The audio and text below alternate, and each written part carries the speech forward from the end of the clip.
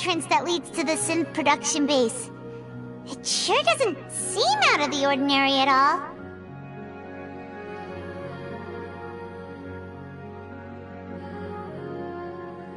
Ah, you're right. An important place like this is bound to have a ton of protective measures and mechanisms.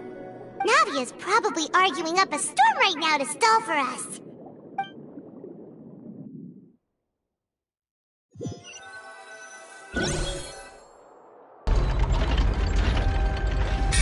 That I must repeat my question again, Mr. Tartaglia.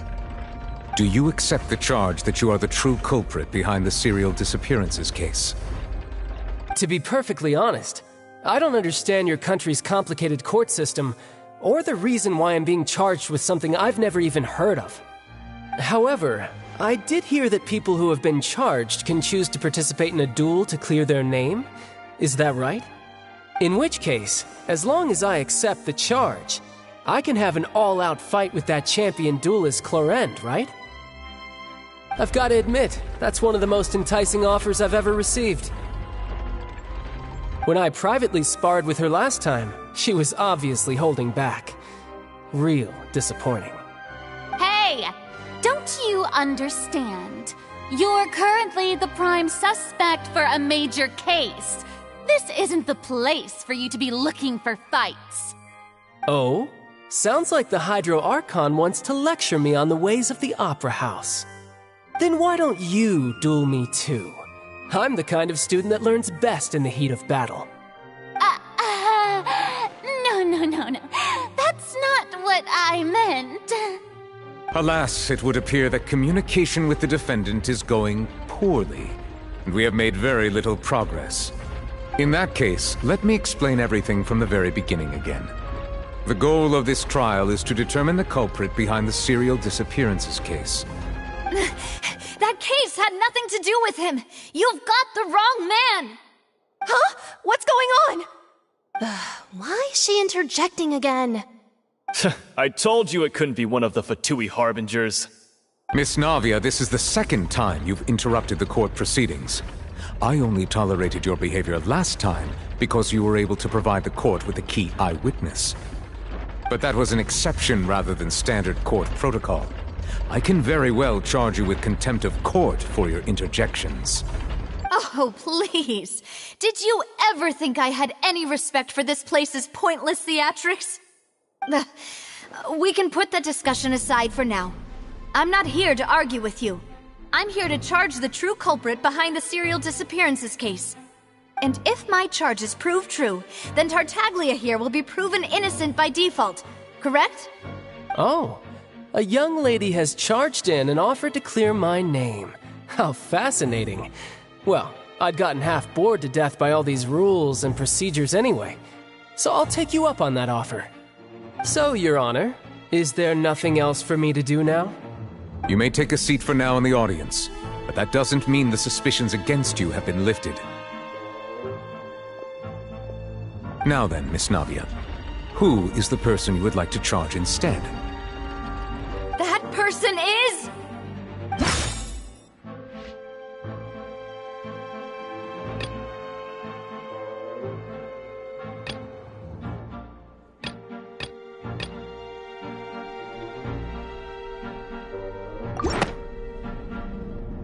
Marcel, the head of Confrérie of Cabrières. Huh? What confrérie? Never heard of them in my life. I've heard of them, but weren't they Spina di Rosula's sister organization? Oh, is this going to be a friends to enemies type situation? Please let me remind you, Miss Navia, that charging someone is an incredibly serious matter. Committing to the charge also means taking on the legal responsibilities associated with it. And if the charge fails, depending on the circumstances, you may also be charged with the crime of making a false accusation. Knowing this, do you still wish to charge this man? Yes, I do. In that case, I declare the charge to be valid. Miss Navia and attorneys, please take your places on the court. Members of the guards, please contact Mr. Marcel right away so that he may stand trial.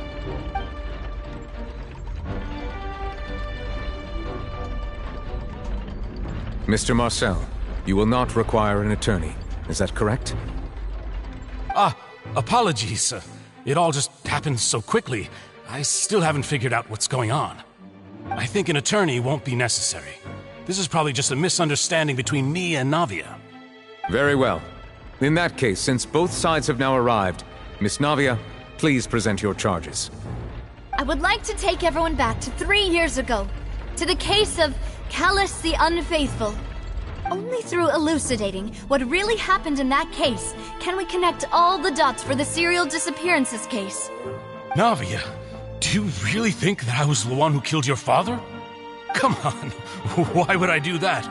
Callas was my benefactor, and remember, both you and I only ran to the scene when we heard the sound of a gun.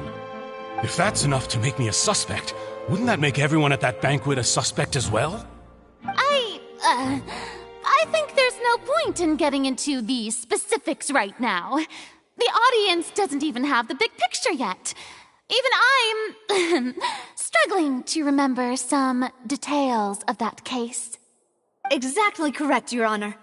I must refresh everyone's memory about that case before I can explain my charge and reasoning. I see. In which case, I will recount the findings about that case as originally recorded by Maison Gardiennage.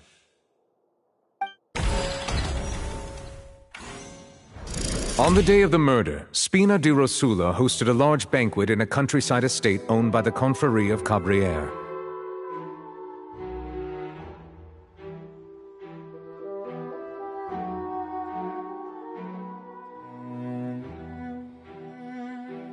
During the banquet, all attending guests heard two gunshots from the courtyard. When the guests arrived at the scene, they found the primary suspect, Callas, holding a gun, while his acquaintance, Jacques, lay dead from a gunshot wound. The guards' investigation did not recover any other firearms from the scene. As a result, they concluded that the suspect's first shot must have missed, while the second must have taken Jacques' life. The suspect did not dispute this conclusion, and also declined to defend himself in court. Instead, he chose to prove his innocence through a duel. Callas was defeated by champion duelist Clorinde in the ensuing duel, and soon succumbed to the injuries. These are the known facts about the case.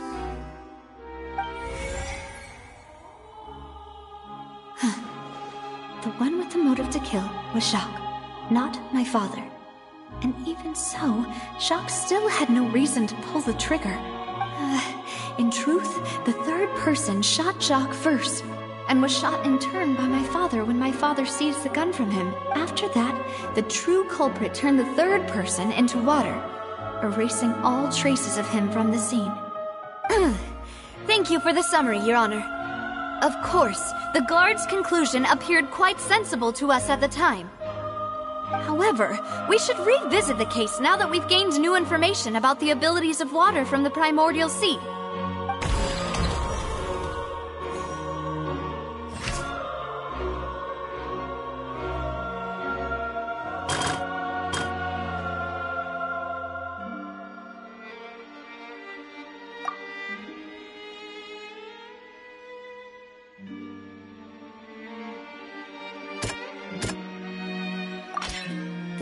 Testimony of the victim's family confirms that Jacques had thoughts of assassinating Callas when he set out for the banquet. However, in the end, he reconsidered and instead shared everything with Callas, hoping to seek the latter's protection. Unfortunately for Jacques, the true culprit had already considered this possibility and had sent out another assassin.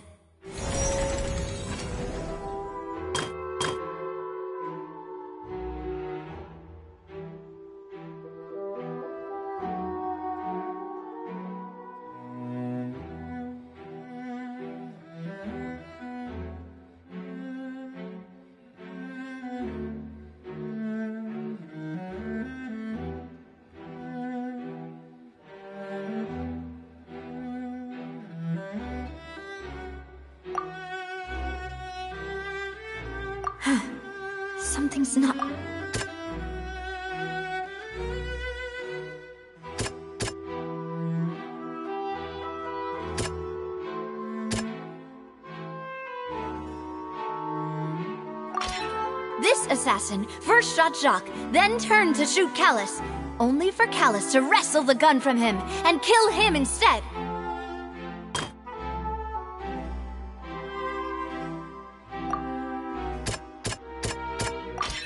A pile of clothing was found at the scene. The guards once believed they were used by Jacques as a costume to disguise himself. But now it is clear that the clothes were proof that there was a third person at the scene, and that they were turned into water after committing the murder. Since it was raining that day, the culprit was confident that they could use the rain to wash away all traces of their dissolved accomplice. Realizing this, the true culprit caused the hired assassin to dissolve into water, leading everyone to believe Callas was responsible for Jacques' murder. This is the true version of events.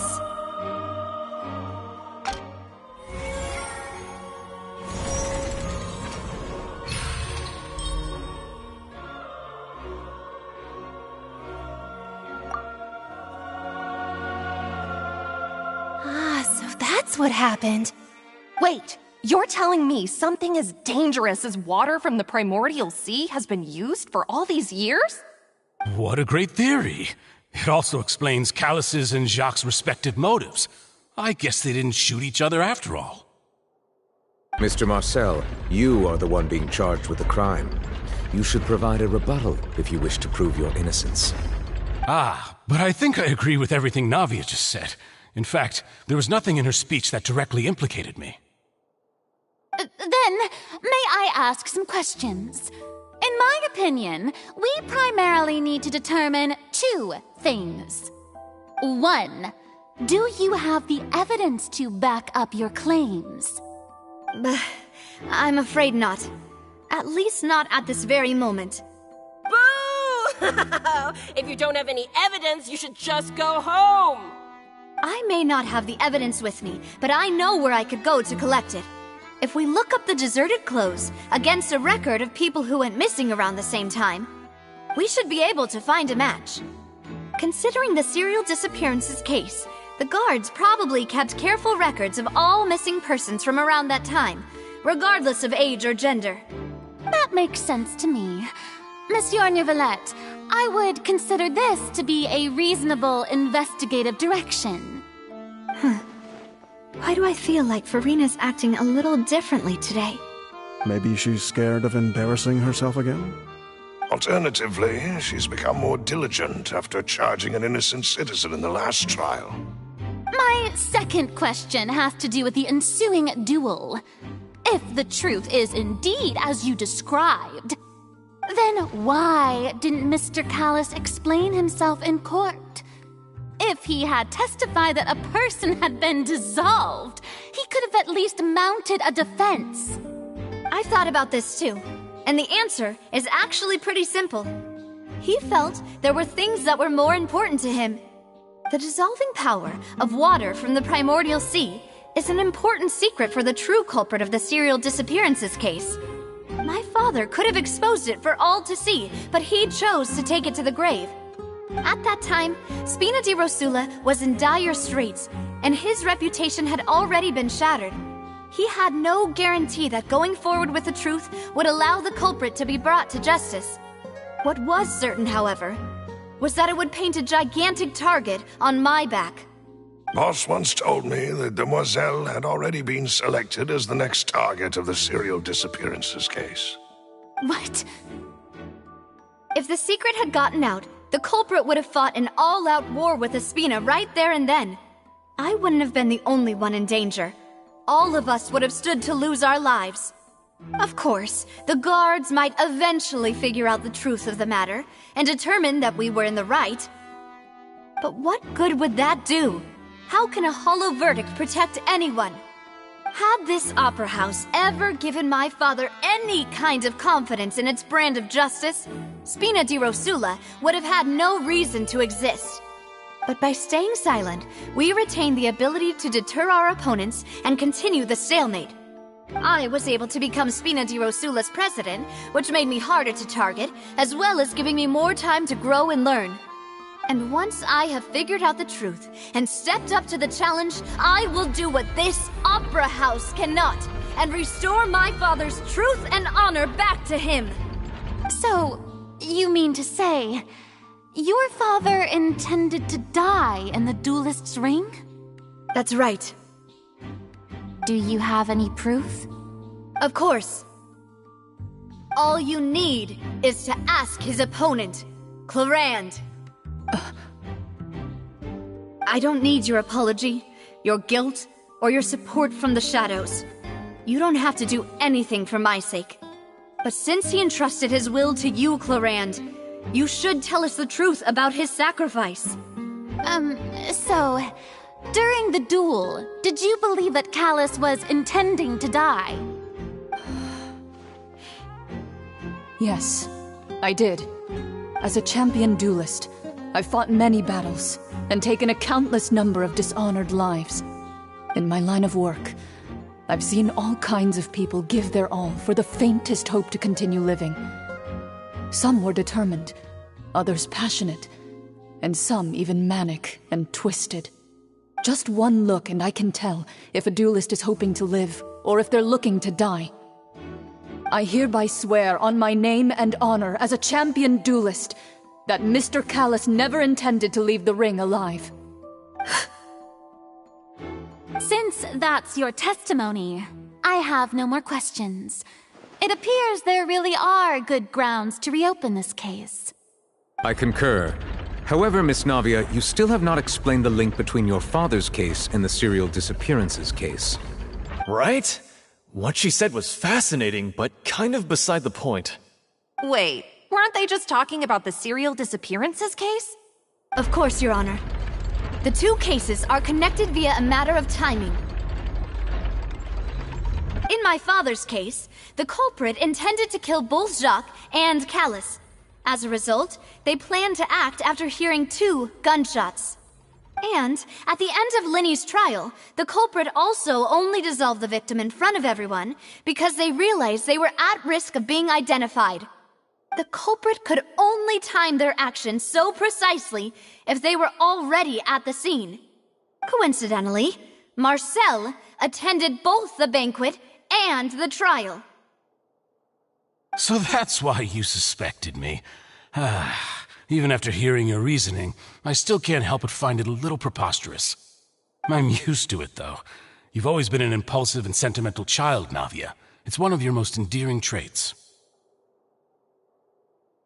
No need to appeal to pathos.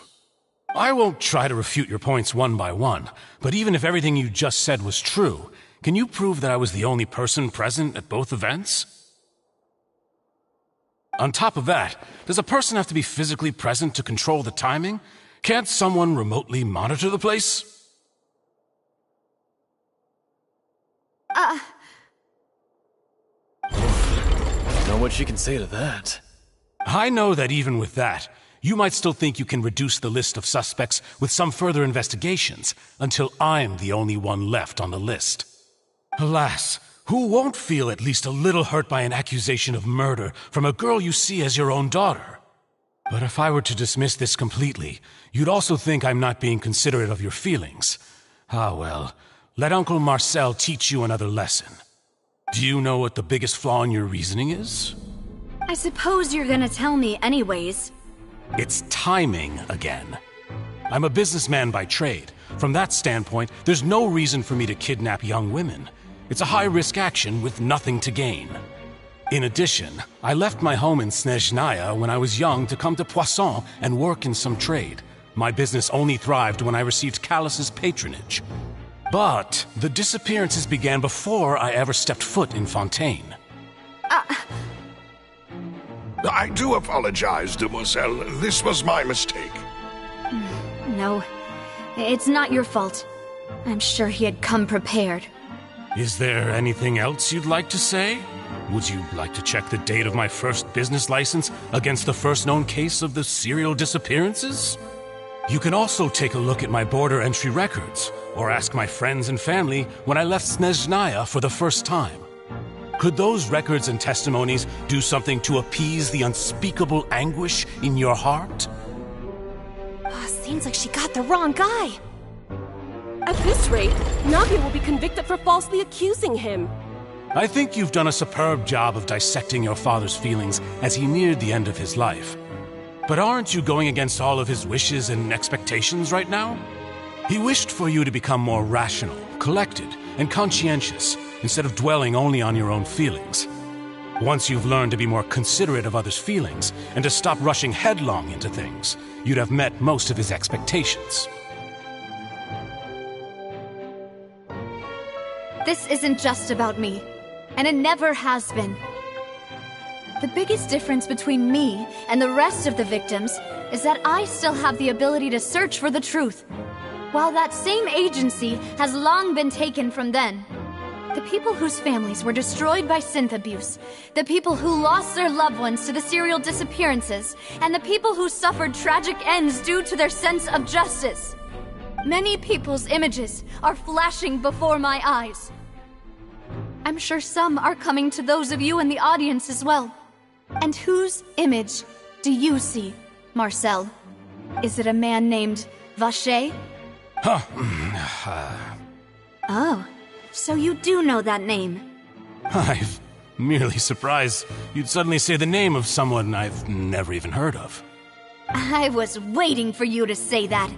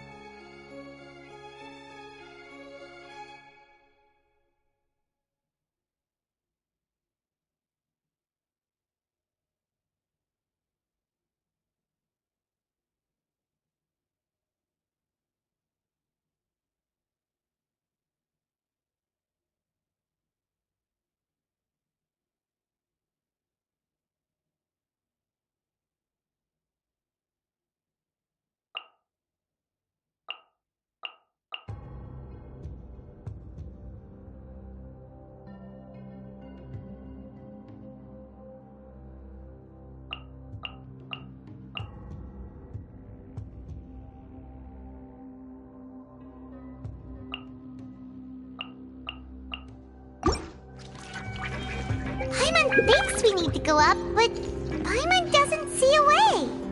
Let's take a look around. Maybe we'll find a hidden mechanism that'll show us the way up.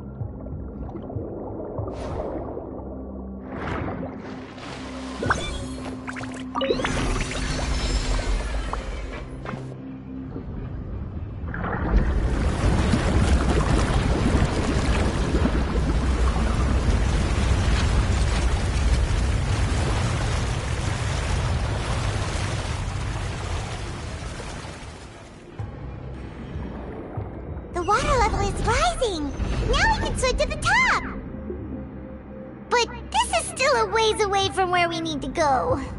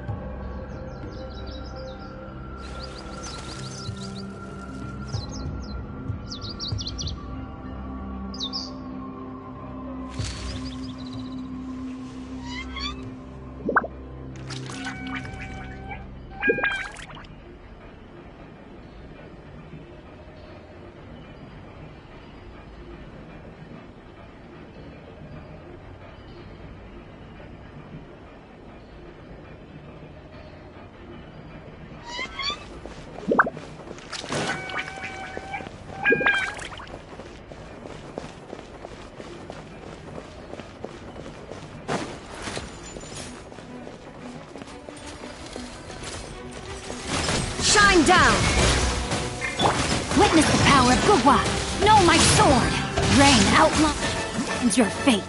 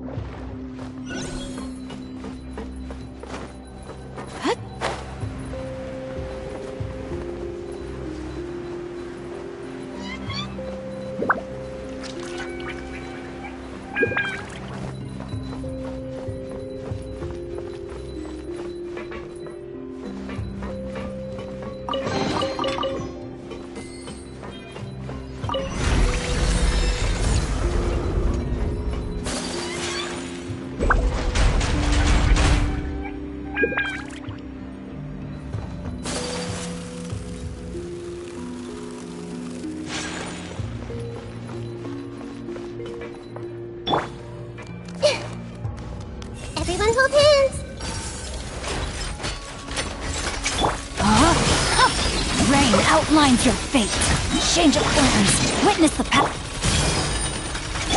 Torn to oblivion.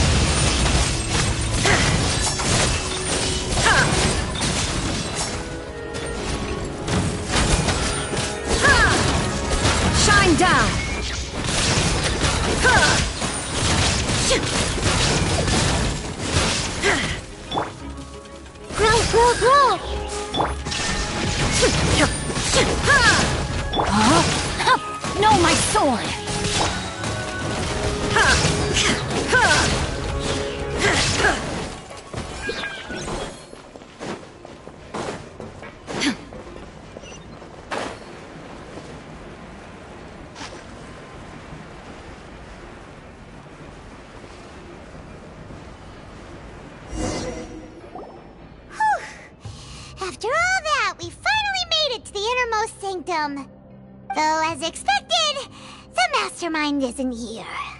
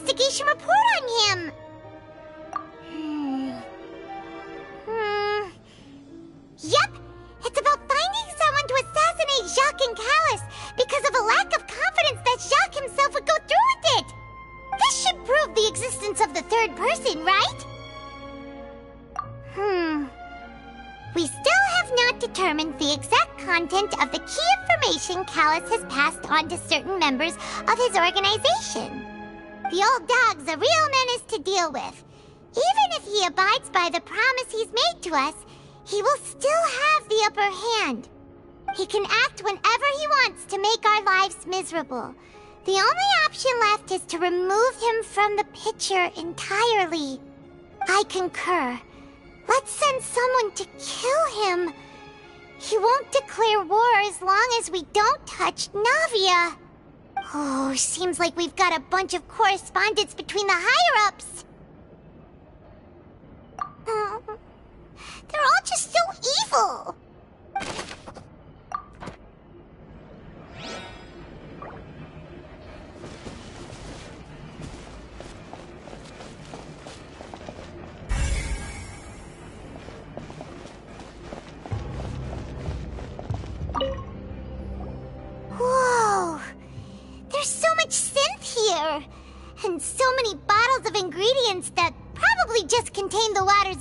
nobody will see.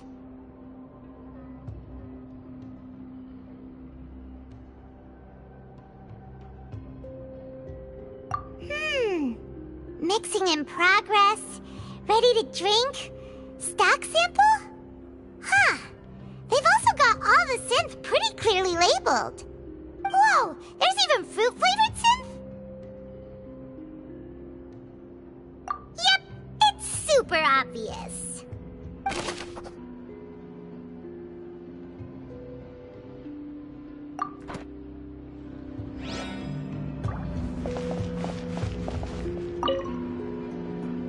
What's this over here? Looks like some kind of place for research. Experiment number 16 aims to verify Jacob Ingold's research conclusions on the primordial sea and use his theory as a foundation to achieve a breakthrough. The experiment was a failure. No individual managed to resurface from the water from the primordial sea. Female specimens 22, 23, and 24 were dissolved.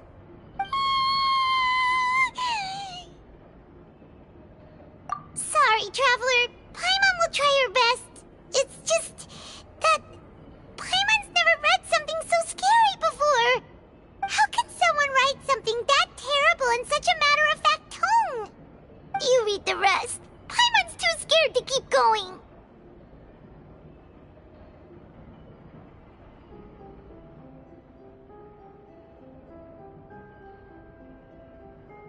So that's why he did all of these experiments.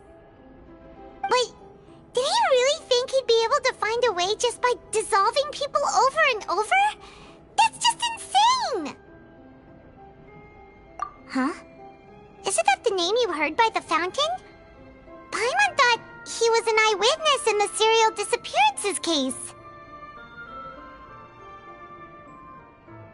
Ah.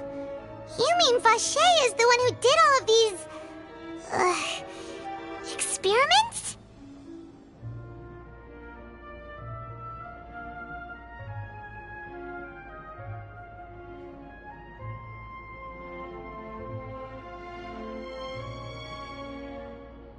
So that's it!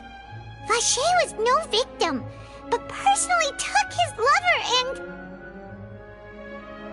No, that's not it either! If that's the case, why would he want people to resurface from the water? In any case, Paimon will write it all down.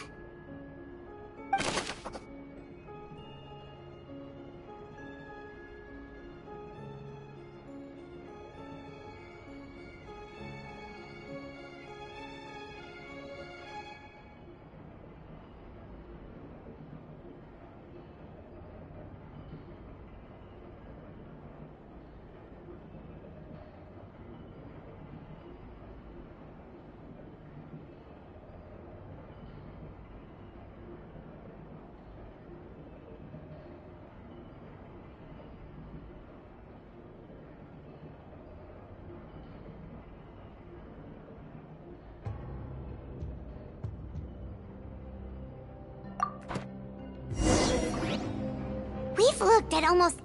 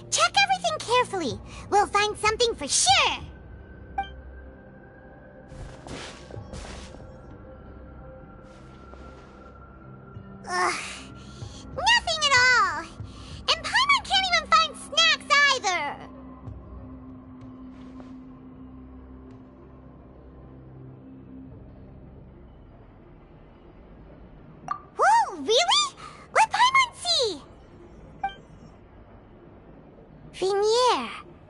Isn't that Vacher's lover's name?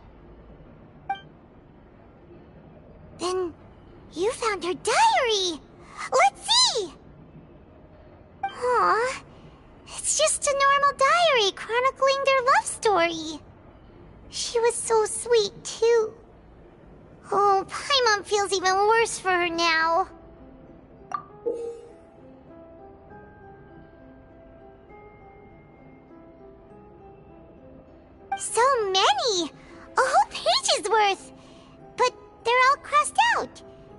She unhappy with all of them? The final name she decided on was... Marcel. Wait, but Marcel's pretty old. Has this case been going on for so long that he's Vacher and Vigne's grown son? Uh, hey! Paimon still hasn't figured it out yet.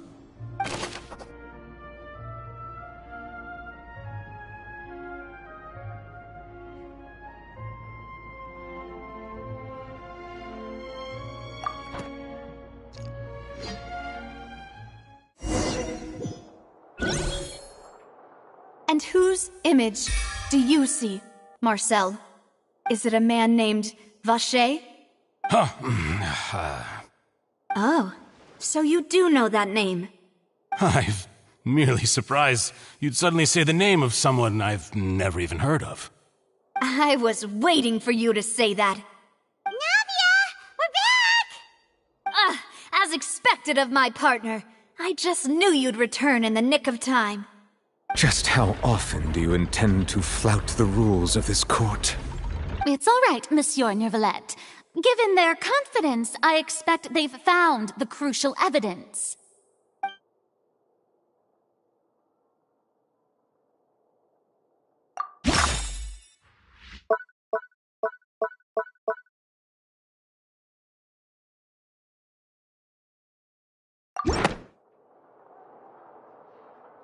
But the truth of it, Marcel, is that you've always been Vacher. Huh? We've investigated your lair and we already know everything! After your lover, Vigne, was dissolved, you kept abducting young women to experiment on the hopes of bringing her back to you! You even created Marcel as a new identity and destroyed all records of your past as Vacher! So that's it. Even the villains in opera performances rarely go that far. And with that, Marcel's motive has now been established. This information regarding your past also dismantles your prior timing defense. Well, Marcel, do you know where you went wrong? Uh. You fixated your gaze on the lover that passed away, instead of paying attention to the living people around you. So, you never noticed how we changed, or how we grew as individuals. You also never understood Boss's real expectations for his daughter. Or our determination to see things through. Your determination. Mr. Marcel, please speak up now if you would like to defend yourself. Otherwise, the trial will move on to the next stage. do you think. Do you really think I wanted to do any of this? Pay attention to you. What for? Have you ever paid attention to me? Ever empathized with my pain? Ever known how it feels to watch the love of your life dissolve right in front of your eyes? No one helped me. No one even believed me. All those decades ago, even the officers from the Maison Gardiennage were laughing at me. They said there's no way a human being can turn into water. So I must have gone mad from grief. Vigne's death was brushed away by all of you as if it didn't matter at all. Well, now you know, don't you? Ha! Well, it's too late now. All those who were dissolved are gone forever. You only have yourselves to blame. You set up this ornate opera house in pursuit of your so called justice, your beloved drama, while turning a blind eye to the suffering of the people. Vigne is dead. We promised each other that we would always be together. Wherever she goes, I will follow. But I'm not from this blasted place. so I can't be dissolved. No matter what I do. Hey, is water from the primordial sea that he's drinking? I can't dissolve! Can't dissolve! Can't dissolve! Do you all see? I can't go! I can't follow! So if I can't go where she is, what choice do I have but to try to bring her back? I did all of that, and in the end, that accursed Callas still got the better of me. I spent my entire life living on pins and needles, only to get stabbed by his idiot daughter at the very end. The suspect is exhibiting signs of mental distress. Guards, please restrain him. Don't touch me! Don't anybody come near me! I still need to save Vigne. Her promise. We made a promise. Vigne. Vigne. Please, Vigne. Don't think badly of me. All I want to do is fulfill our promise. At this point, the verdict of this trial is clear. With Mr. Marcel's conviction, the charges against Mr. Tartaglia no longer have any basis. Fine by me. I was in a bad mood, but after a show like that, I'm actually feeling pretty good. Traveler, please submit all the evidence you have collected to the guards, so that I might review and summarize the truth behind the serial disappearances case. The man now known as Marcel was originally named Vacher and worked as an adventurer with his partner and lover Vigne. During an underwater expedition, Vigne accidentally came into contact with water from the primordial sea and was dissolved in front of Vacher as a result. Vacher learned of the primordial water's existence through the work of others and began to kidnap young women for research, with the goal of discovering a method to restore Vigne back to life. To cover his tracks, he invented the new alias of Marcel and began to operate a business in Poisson. During the course of his research, Vacher discovered that a diluted concoction of water from the primordial sea can induce feelings of euphoria and began to manufacture and market Sinthe. However, as he accumulated wealth to fund his continued research and expanded the scope, he came into conflict with Spina di Rosula. After exchanging blows with Spina di Rosula for many years, Vacher decided to assassinate their president Callas at a banquet. Although the assassination did not go as Vacher expected, he was able to turn Callas into the murder suspect by dissolving the assassin he sent to the scene. And just recently, Vacher attempted to frame Lyney as the culprit of the serial disappearances case, using a similar method. However, his attempt to frame Lyney failed, and the power of water from the primordial sea became public knowledge. This case also exposed enough of Vacher's machinations that he was eventually successfully charged in court. Thus concludes the enigmatic history of the serial disappearances case, with the truth revealed to all.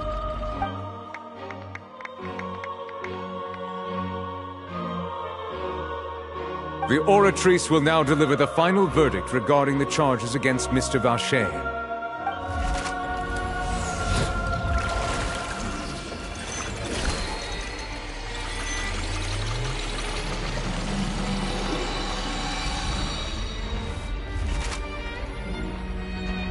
According to the judgment of the Oratrice Mécanique d'Analyse Cardinale, Mr. Vacher is guilty.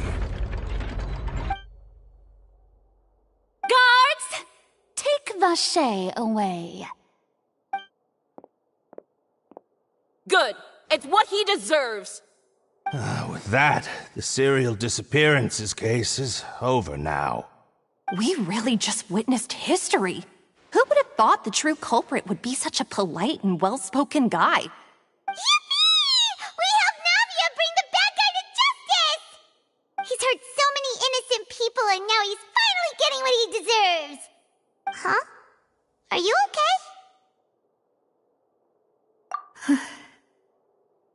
Demoiselle, you were absolutely brilliant.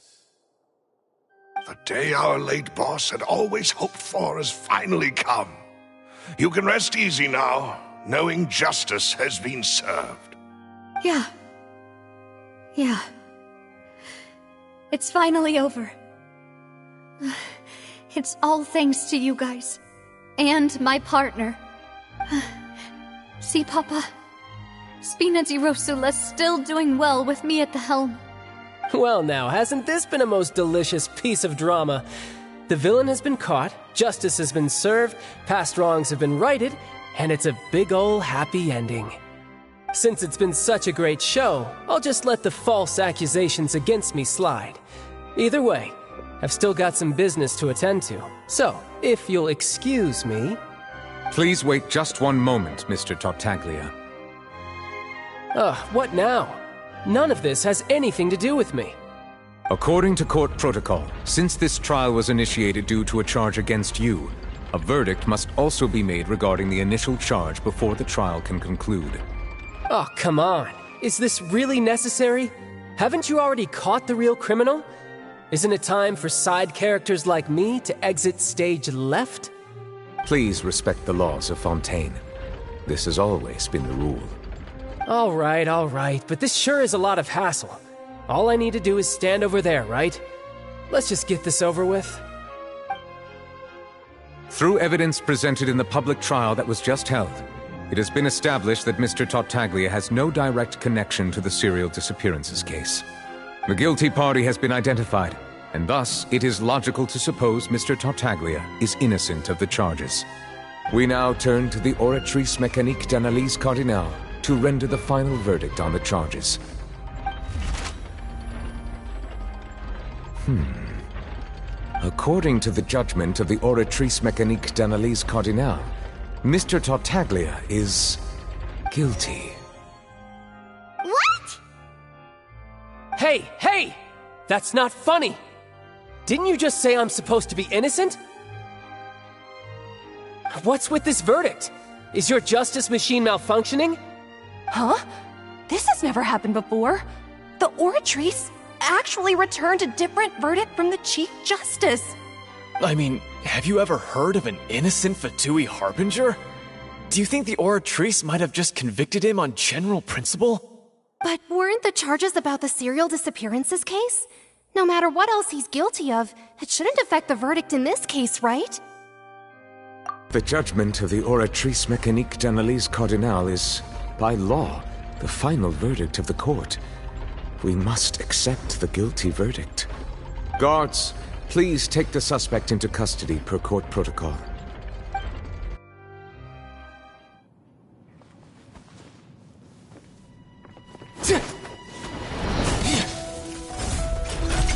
So this is how justice is done in Fontaine.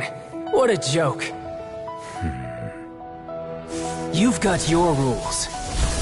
Well, I've got mine too!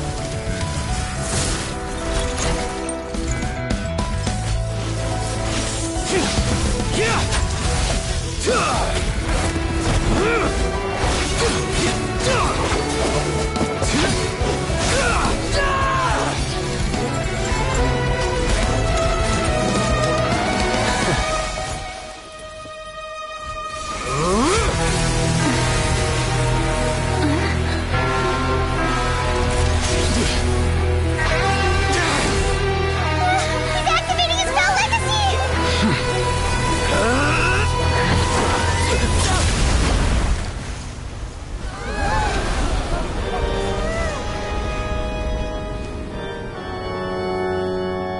I am sorry.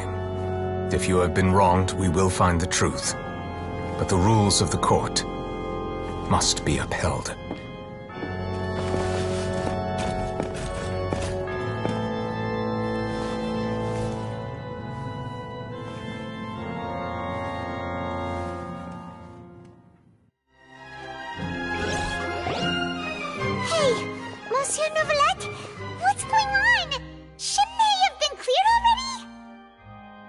Apologies. This is also the first time I've encountered such a situation. However, according to the rules established at the conception of Fontaine's court system, the Oratrice's judgment is the final verdict of the court. All I do is follow court procedure.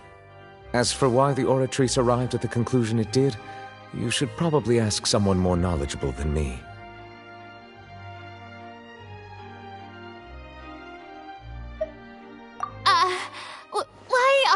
Looking at me? I had nothing to do with it! I. I don't know what happened there either! Hey, stop staring at me! What does Lady Furina mean by that?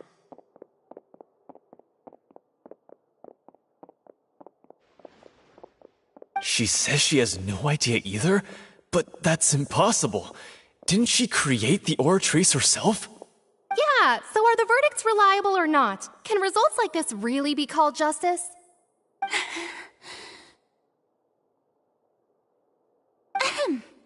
My dearest citizens, did you really think we'd allow an incorrect verdict to be handed out in this court?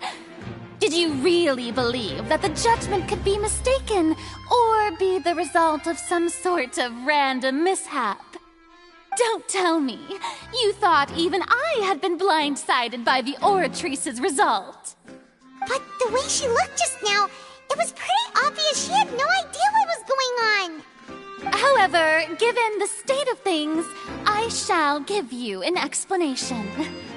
Everything that just took place, including my supposed shock and bafflement, was a part of an elaborate performance, with every action meant to stir up drama and excitement.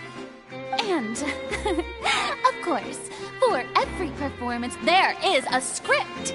Everything has unfolded exactly as I expected from the very beginning. As the embodiment of the very concept of justice, the Oratrice shall never render an arbitrary judgment! If you thought child had nothing to do with the serial disappearances case, it is only because you've been blinded by the superficial appearance of innocence. Everything he's done, not to mention the danger he poses, are beyond ordinary comprehension and completely unforgivable! All shall be revealed in time. You will come to understand my noble intentions, as well as the absolute correctness of the Oratrice's verdict.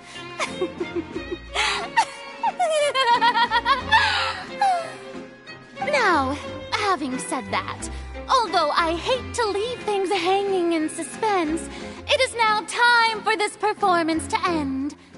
As the lead actress, I shall be the first to take my leave.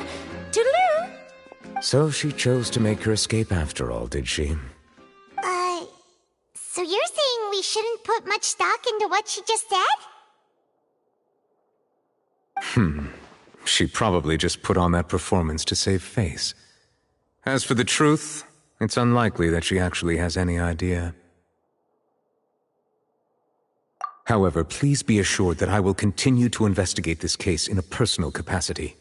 Just as I promised, if the judgment has been incorrect, we will do our utmost to clear his name. Right. Even though we feel pretty badly for him, we'll take your word for it for now. After all, he's done plenty of bad stuff, so he should have known he'd go to prison someday, right?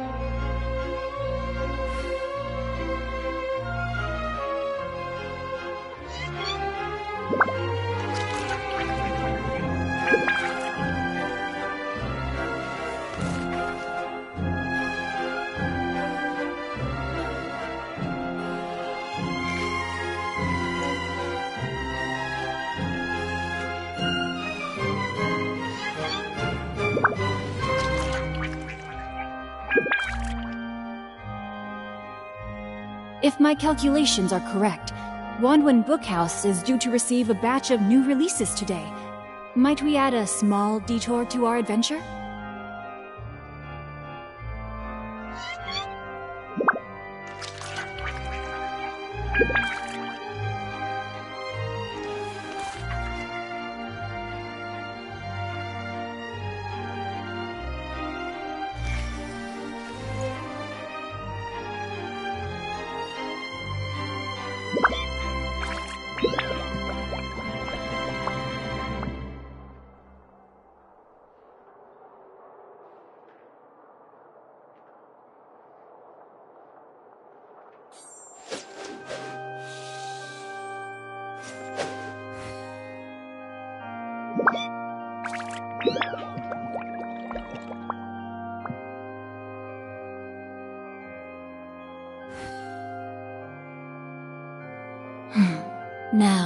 This is what I call a moment of solitude.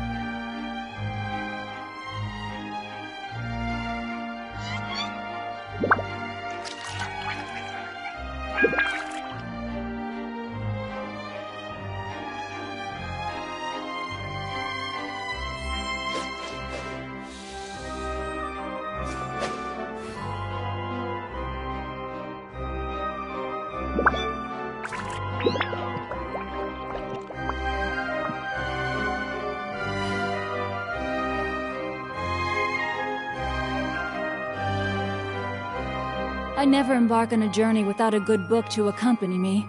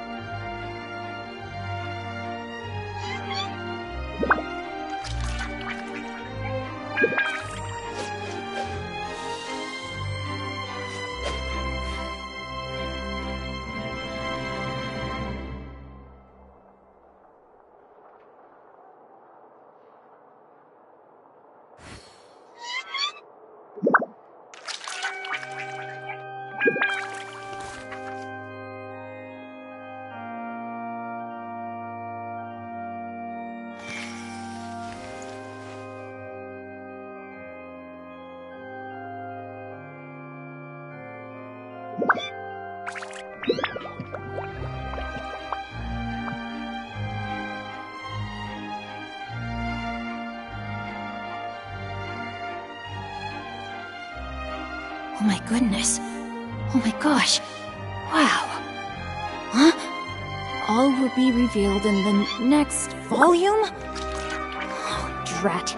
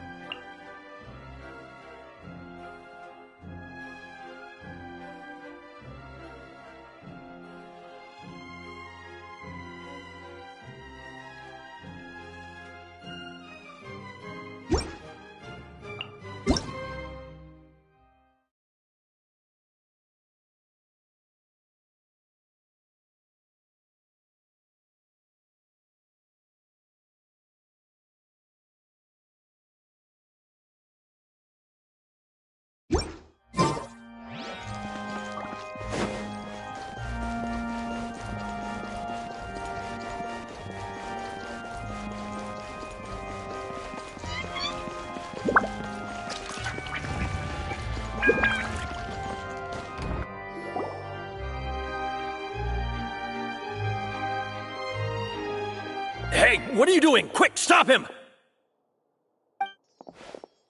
Traveler! Hey! Traveler! Ah, Marcel! What are you doing over here? Stop resisting arrest! Cease, or we'll add another charge to the list. No, no, no, wait! I, I just want to ask the Traveler something. I'm not looking to run away. Please, please, just let me ask this one small thing. Go on. Thank you. Thank you. I was being led away when I finally realized something. Where did you first hear the name Vacher? I erased all records of that name. So, unless... Are you still trying to prove your innocence? Give it up. You've already been convicted. Uh, really? You, you did? You're sure? You met her? But how could that be? How did you manage to do it? The Fountain of Lucine? Then, then she's been so close to me all along. And I just never... Please, please give me a chance to talk to her again. Just let the Traveler take me to the fountain to see her one last time. This is the last request I'll ever make in my life. You can do whatever you want to me afterwards. I don't care. What? Give an inch and you want to take a mile? Do you think serial killers get to make requests like that? Hmm. Paimon agrees. Why should we give him what he wants when he's only done a ton of super terrible things? This request, is it worth as much to you as your life? Of course! Wait, no. It's worth even more than my life. Humans. Will they betray the instinct to live just to satisfy spiritual needs? Very well. I will grant your request. Your Honor, I fear that... I will go with him. You do not need to worry about any escape. In that case, I shall leave him in your most capable hands, Chief Justice. Thank you. Thank you, Your Honor.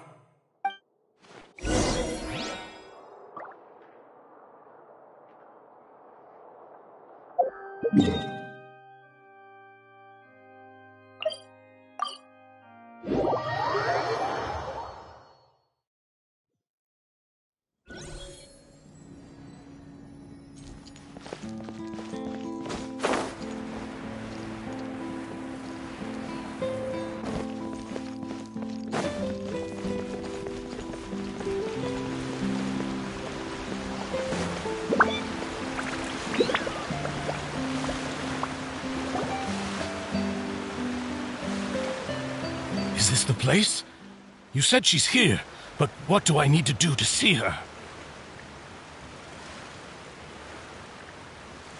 Yeah, and even Paimon could hear her after drinking that thing. Didn't you just drink a lot of it on the stage as well? Oh, in that case... Vacher! Ah! Yes, that's it! So you heard it too! Vigne, it's me! It's me, Vache? Vacher? Vacher! I'm here! I'm here! Where are you, Vigne? I'm coming for you. I'm finally here for you. Hey, wait! Be careful!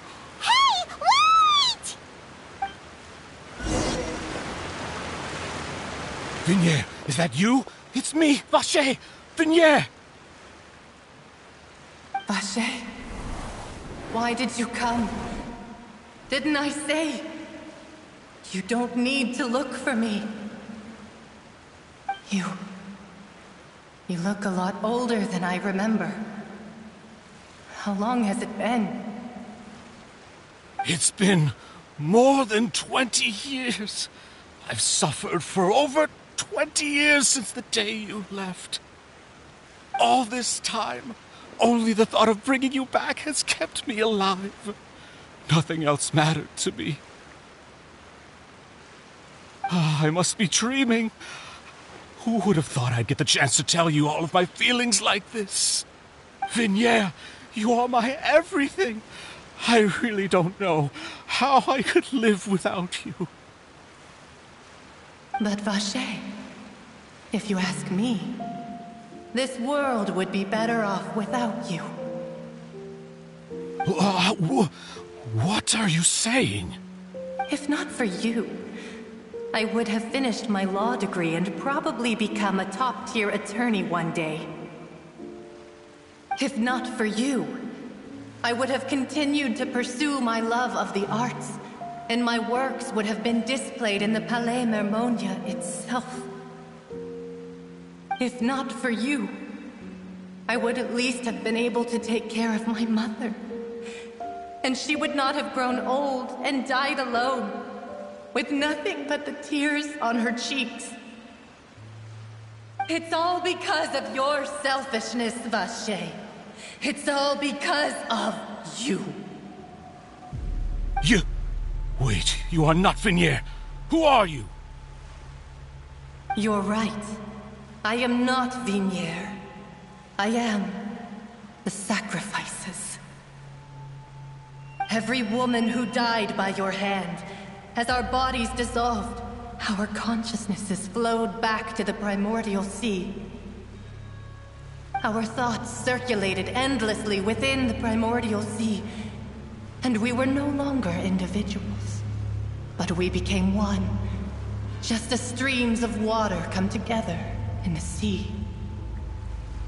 I'm Cressy. I'm Lemony. I'm Azine. The only one I am not is Vigne. Why? But then, where is Vigne? She doesn't want to see you anymore. Every tendril of her consciousness is avoiding you. This is what you get for your selfishness. Your selfishness robbed us of our lives and our futures. You said time and time again that you'd do any and everything for her. But did you ever consider whether she'd want to see you do the things that you did? If she would despise you for what you became? I, um, I... You are a liar, a heartless murderer, and a cowardly narcissist. The only thing you are not is Vigne's beloved.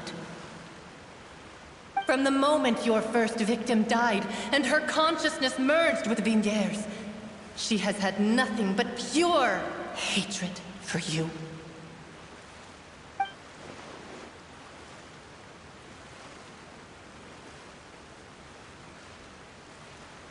No! Yeah! She can't hate me. Let me see her. Please! Have mercy! You still don't understand. When I said don't look for me, that came from the real Vigne. She really doesn't want to see you anymore. But on top of that, she also said that because it's her final drop of pity for you. She said that because she knew that if you did come here, we will show no mercy to you. Vacher. Vacher? Vacher. Vacher. Vacher. Vacher. Vacher.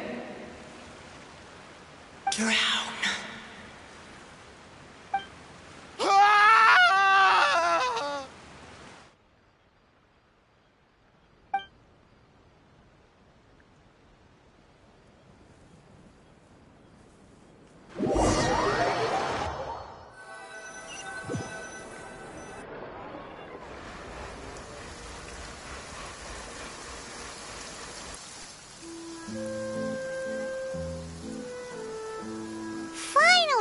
Some time to do shopping. Gosh, it's really been a long time since we've been able to relax.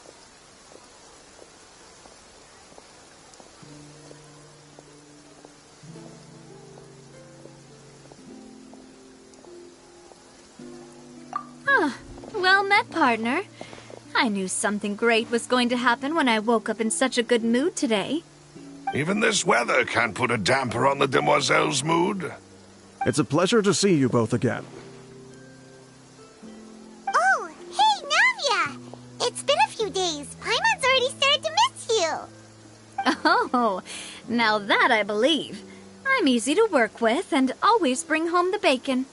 Who wouldn't treasure having a partner like me? Sounds like you're really enjoying life these days, Navia. What have you been busy with since the trial? it's just been one thing after the other. I've been making non-stop trips between Poisson and the courts in Sen. Everyone from Spina di Rosula organized a memorial for my father. We never held a memorial when he first died, since everyone knew that even if we held one back then, no one was going to come. This time, though, everyone in Poisson, and even many people from the court, all attended. Ah, so his name's definitely been cleared now. That's what we like to hear. It's been the dearest wish of Demoiselle all along. that blasted stubborn fool. I was right to put my faith in him.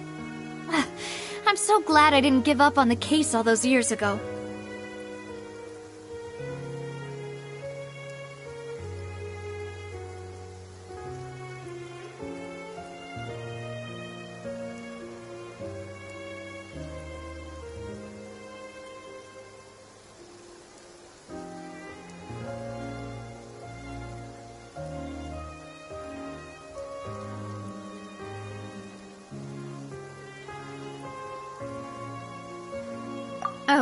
By the way, I ran into Charlotte just after I left the memorial service. Uh, well, maybe it'd be more accurate to say I knew she would be there, and there was no way she'd just let me go. Huh? So you know Charlotte too? The Charlotte? Journalist from the Steambird? Yeah, way back when I first became the president of the Spina di Rosula, she was all over me. Wouldn't take no for an answer. I believe the story was called The True Heart of Darkness Secret Tales of the Yellow Rose. To be fair, though, it was a really flattering feature. so, we've been on pretty good terms ever since. She was trying to lean on our friendship to get me to do an exclusive piece on the serial disappearances case. Oh, yeah.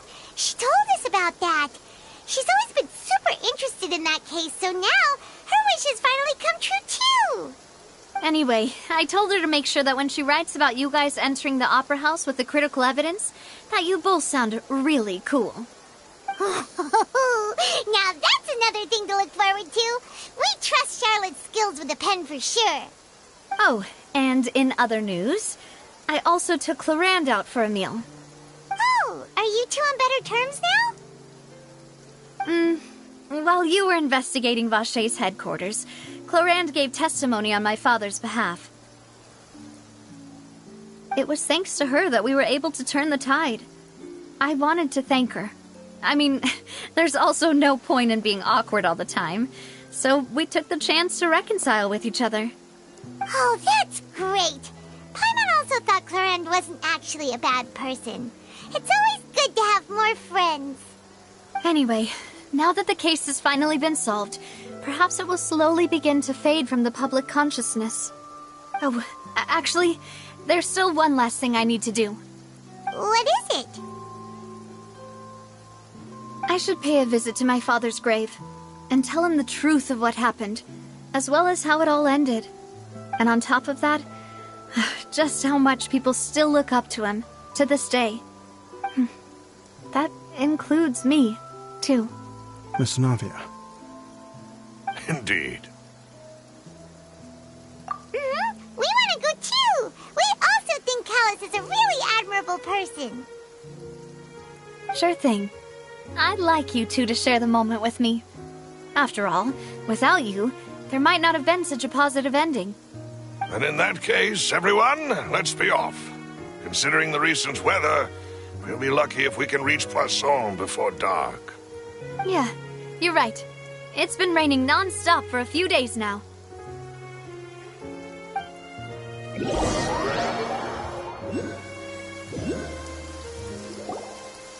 Huh. This is where my father's grave is. Hmm. To be perfectly honest, even I haven't been back here for a long time. Huh? There's someone there already. Wait that figure. It can't be. Hmm?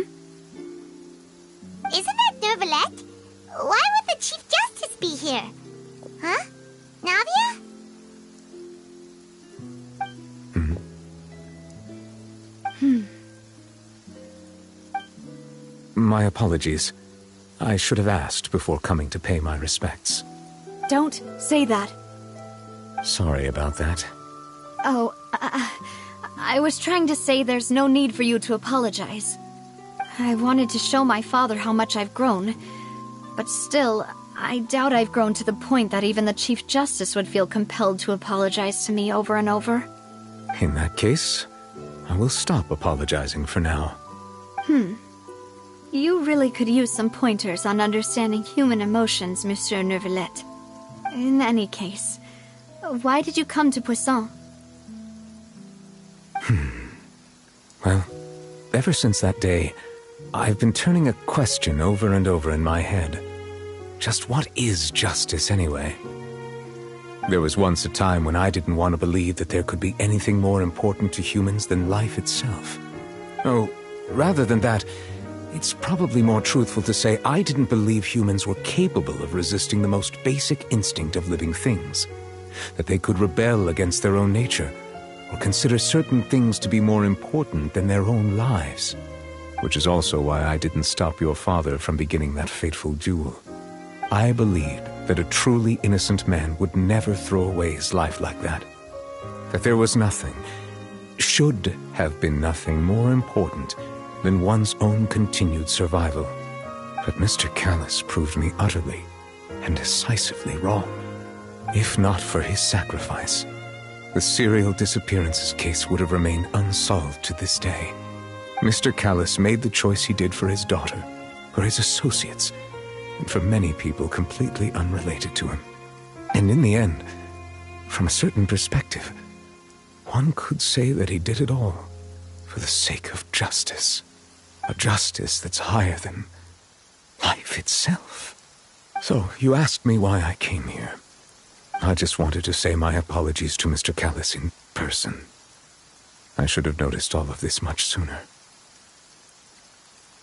This regret has filled me with a sadness that has haunted me for days. That high and mighty chair in the Opera Epiclese indeed insulates one from many important things. Spina di Rosula, thank you so much for your hard work and perseverance. Uh, I'm sorry for being mad at you before. So, you're actually one of those types that's cold on the outside, but pretty thoughtful on the inside, huh? That reminds me of Silver, one of my guys. Sorry about that. Self expression is not one of my strong suits. Didn't I just say you don't need to apologize? Ah, so Navia and Neuvillette seem to have made their peace as well. Let's not disturb them for now. We can wait till after they're done.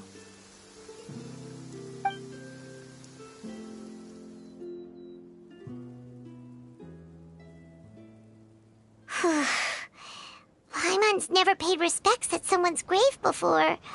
Uh, did Paimon do anything rude there?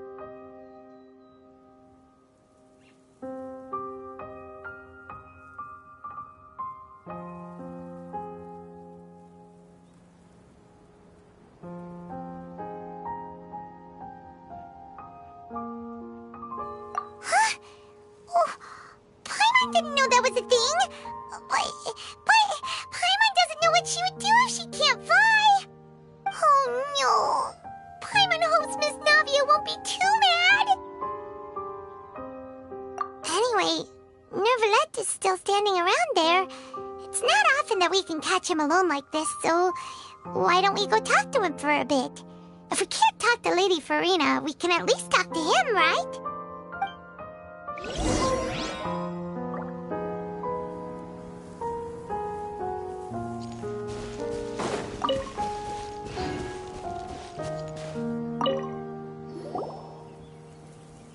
It's you two. Did Miss Navia invite you to come pay your respects to her father? Mm-hmm. We ran into Navia on the streets today, so we just followed her here. I see, I see. Then is there something that I can help you with? Uh, um, well, it's pretty hard to run into you like this since you're usually super busy. So we figured we could try to ask you a few questions, if that's okay. Please feel free. Though outsiders, you helped us solve one of the greatest mysteries in Fontaine, and it would be my pleasure to return the favor.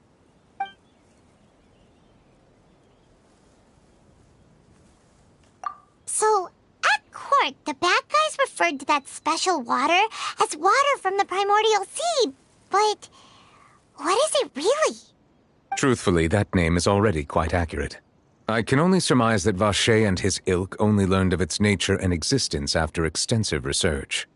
There used to be a special sea on the surface of this planet. The nature of its seawater was rather different from that of the sea we know today. Most of Teyvat's life forms were first born in that special sea. You could say it nurtured much of the life on this planet. Huh. So it really was where everything began. It makes sense to call it primordial then. But today, the primordial sea no longer exists on the planet's surface. What Vacher discovered must have been some kind of special case, or a remnant from a truly ancient age. Huh. So that's how it is. Oh, you really know everything, Monsieur Neuvillette. But if that's the case, then why would people, uh, at least people from Fontaine, dissolve in that kind of water? Indeed. Why would the primordial sea, which was known to engender and nurture life, suddenly reverse itself and devour life instead? To be frank, that also doesn't match my understanding of this world and its laws. There must still be some unknown secrets around the people of this land. Is there anything else you'd like to ask me about?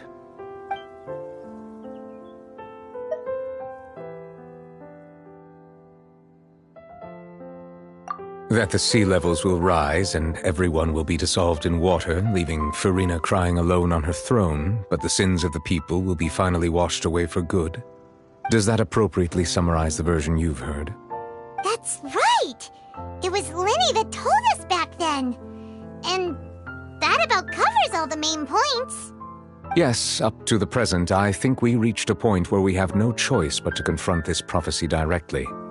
Rumors have it that this prophecy is rooted in the last words the former Hydro Archon left to the world before she passed away. A prophecy? Of the former Hydro Archon? Wow.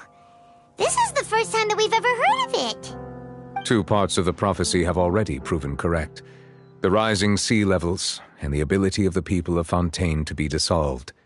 We should be more vigilant and stay on the watch for further signs. Speaking of the prophecy, Furina has also always taken it quite seriously. Indeed, she has been collecting information and intelligence from across Teyvat for this purpose. If the rumors were true, then perhaps this prophecy is the conundrum left to Furina by her predecessor. But with Furina being the way she is, can we really trust her to solve it? Is there anything else you'd like to ask me about? My apologies. My investigation has still not reached its conclusion. However, I still believe the judgment of the Oratrice was not rendered arbitrarily. But you also said you thought he was innocent. For many years, I have been quite aware that the Oratrice does not simply mechanically repeat the verdict that I give on each case. As a divinely created mechanism, the people's unified faith in the concept of justice is integrated into it. Not only can it produce the incredible power of indemnitium, but it likely also possesses other traits, such as self awareness. Which is all to say, I have been prepared for a situation like this for a long time. Huh. So when Lyney told us that he heard a human voice from the room where the Oratrice's core is stored, I was not aware such a thing had occurred. Perhaps that could serve to prove my conjecture. I will add that to the list of items to investigate. In any case, I am inclined to believe that the Oratrice does have a methodology all its own. We just do not have enough information. Based on Furina's reaction, I doubt even she had any idea what was going on. She managed to bluff her way through it, though, with her time tested twin tricks of bravado and drama. While we do intend to get to the bottom of this, for now, we regret to say that the Fatui Harbinger will just have to bide his time in the fortress of Meropide. If we did incorrectly convict him of crimes he did not commit, We will most certainly compensate him to the fullest extent allowed by the law. If you ask Paimon, the only compensation he'll want is a no-holds-barred fight with you. Is there anything else you'd like to ask me about? Your sibling. Another blonde-haired traveler. I'm sorry, but I've never seen anyone who matches that description. If he ever stepped foot in Fontaine, I'm sure he followed our laws to the letter and had no reason to appear on the stage of the opera Epiclese. Is there anything else you'd like to ask me about? Very well. It was my honor to provide you with what answers I could. I very much enjoyed conversing with you. It will soon be time for me to leave this blissful tranquility behind and return to Palais Mermonia. You really are super busy, Monsieur Neuvillette. Paimon thought you only came here to pay your respects today because you had the day off. Crime and villainy do not have the day off, and so justice must work around the clock as well. This is merely the nature of a justice's work. All right, all right. You've got a point. Huh? Paimon just noticed that the rain has stopped.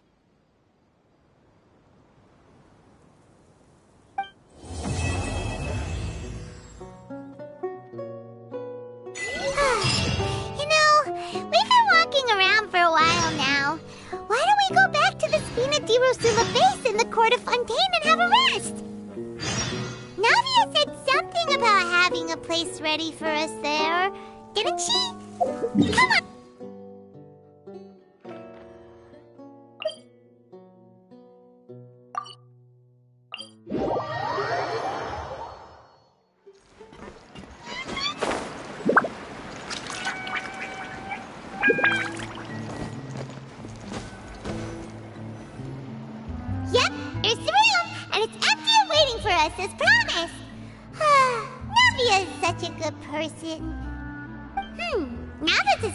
Disappearances case has been solved, no one's going to come after us for anything. Even without Silver standing guard, we can just completely relax. Why don't we stay and rest up here for a while? Even machines in Fontaine need to stop and recharge now and then.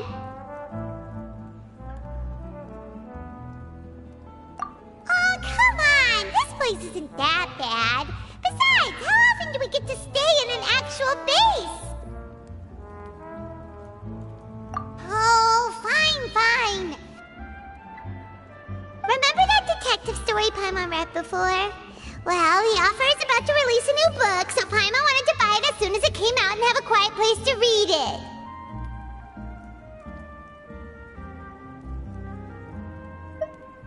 Yippee! Then it's agreed. Come on, let's get some sleep. We'll need to be up first thing in the morning to get in line and buy a copy.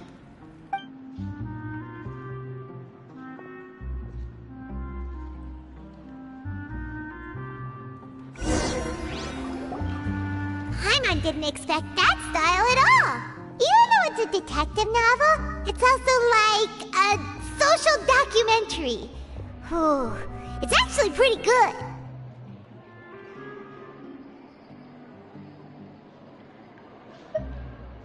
Uh, no! Paimon just spends a bit more time sleeping than you, that's all. Excuse me, but do you know if the Traveler and Paimon are lodging here? Huh? Who are you? Paimon doesn't recall seeing you before. Wait, you're not here to give us trouble, are you? A blonde traveler and a chatty little fairy. Phew, looks like I found the place. Good thing I asked the Spina di Rosula. Seems they sent me the right way. Hey, what do you mean by chatty? Paimon's always careful not to talk too much. Most of the time, anyway. It's an honor to meet you both. I was sent from the Palais Mermonia. Monsieur Neuvillette wishes to see you. It seems he has something important to discuss in person. Neuvillette? He wants to see us again already? Huh. We talked so much the last time we met. Has something happened since then? I am not privy to the details. It would be best if you came to the Palais Mermonia and asked Monsieur Neuvillette in person. Mm, if you say so, but Paimon has a bad feeling about this. Now that I've delivered the message, I'll take my leave. Thanks! We haven't left the room for a few days, so we'll head over once we've freshened up a bit.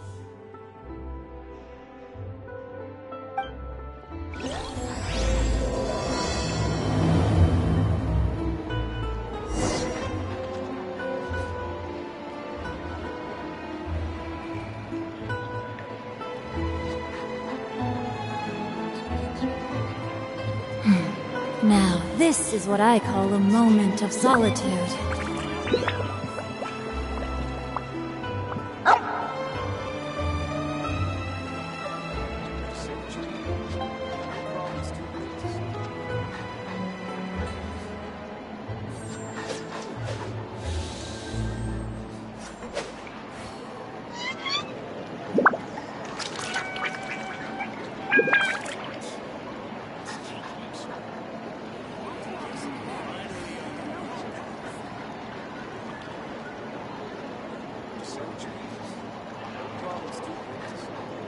Twas on a deserted moonlit night that the hero approached the vile dragon's limpid lair.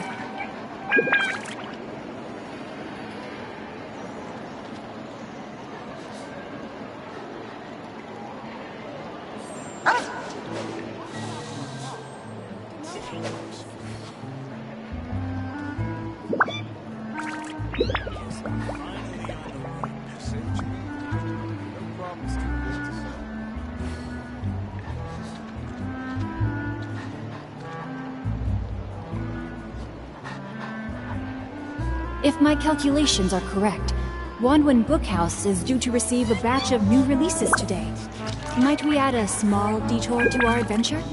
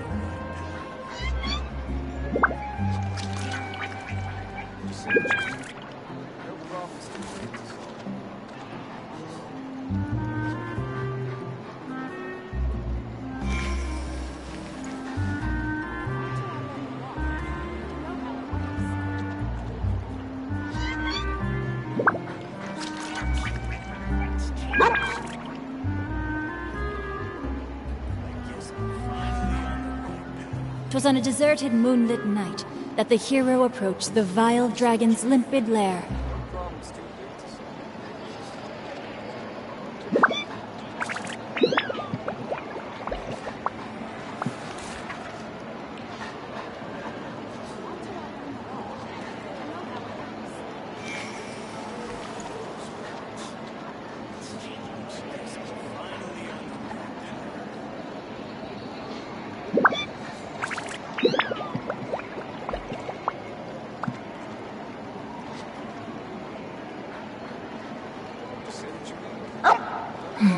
Now, this is what I call a moment of solitude.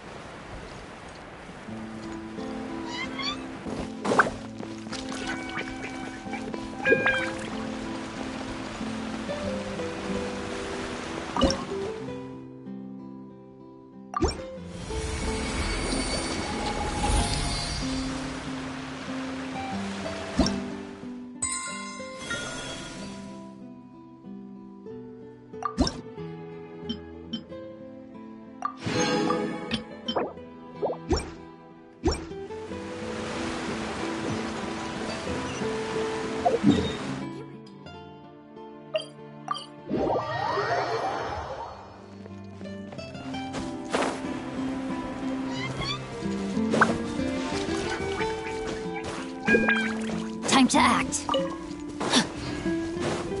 Time to act.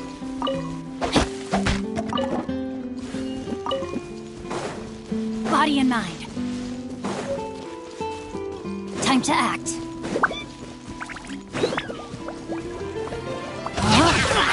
No, my sword!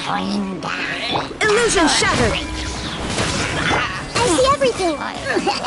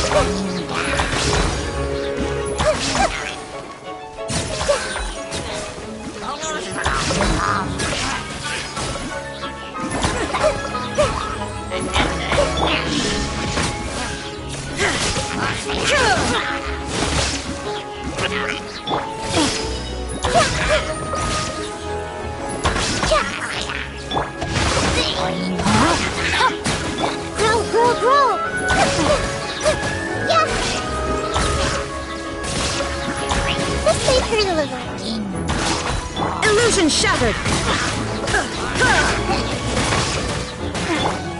Whirling snow! Inazuma shines eternal!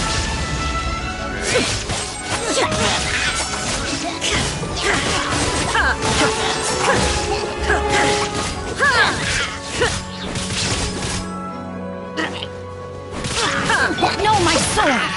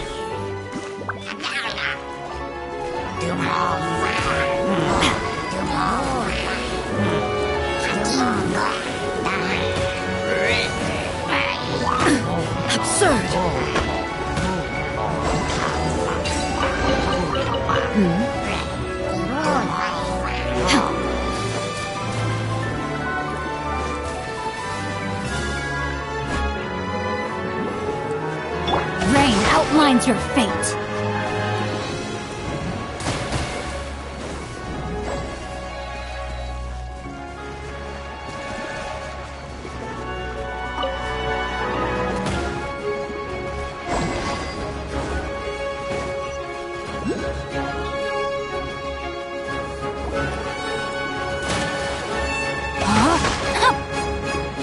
Let me leave you a verse. time to act.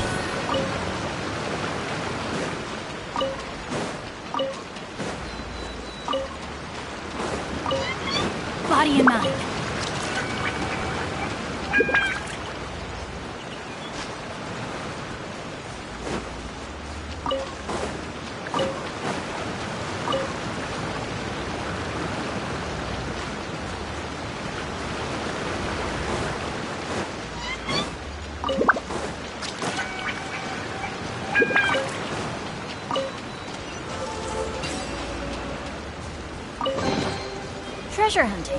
A valiant endeavor.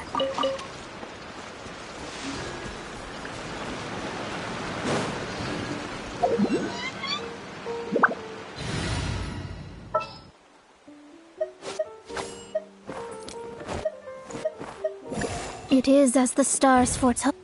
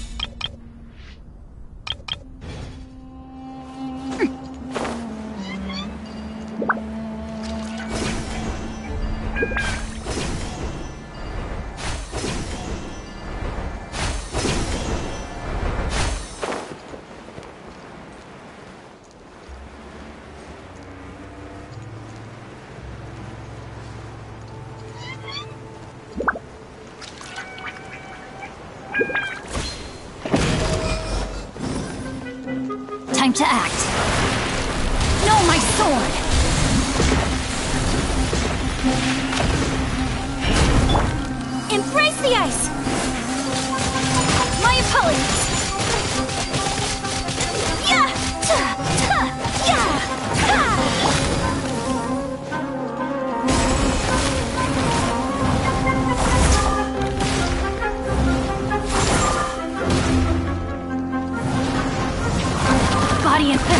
Down. Rain outlines your fate.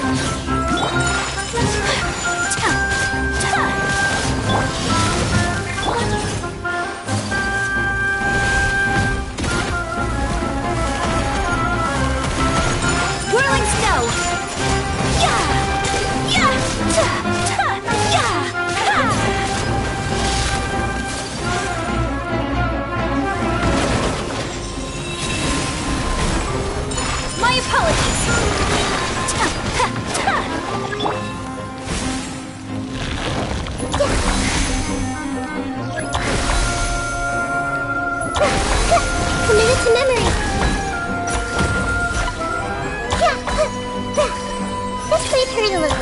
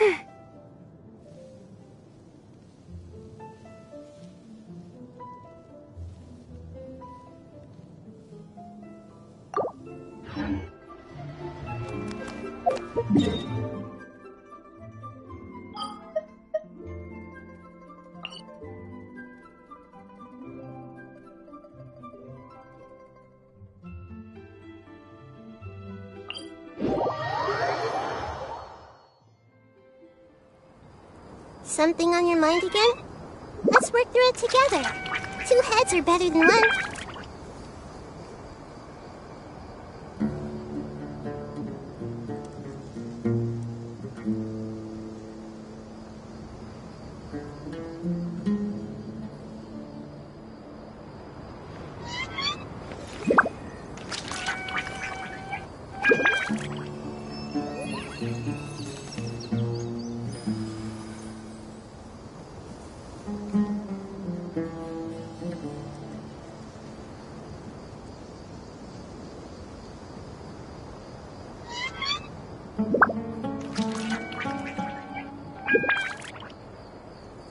They say is true.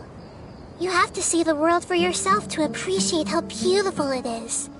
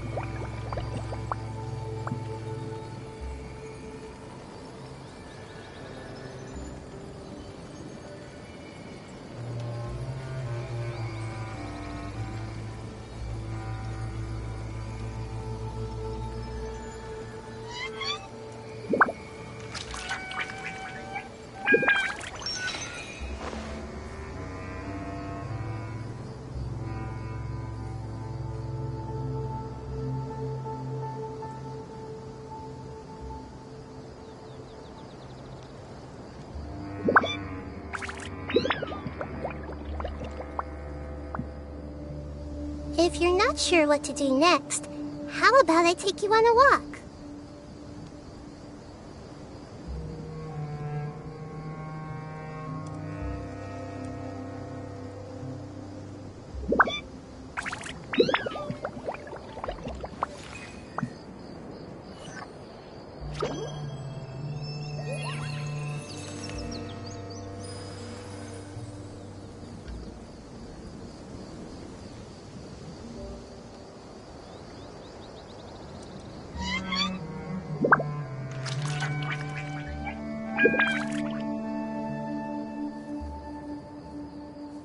They say is true.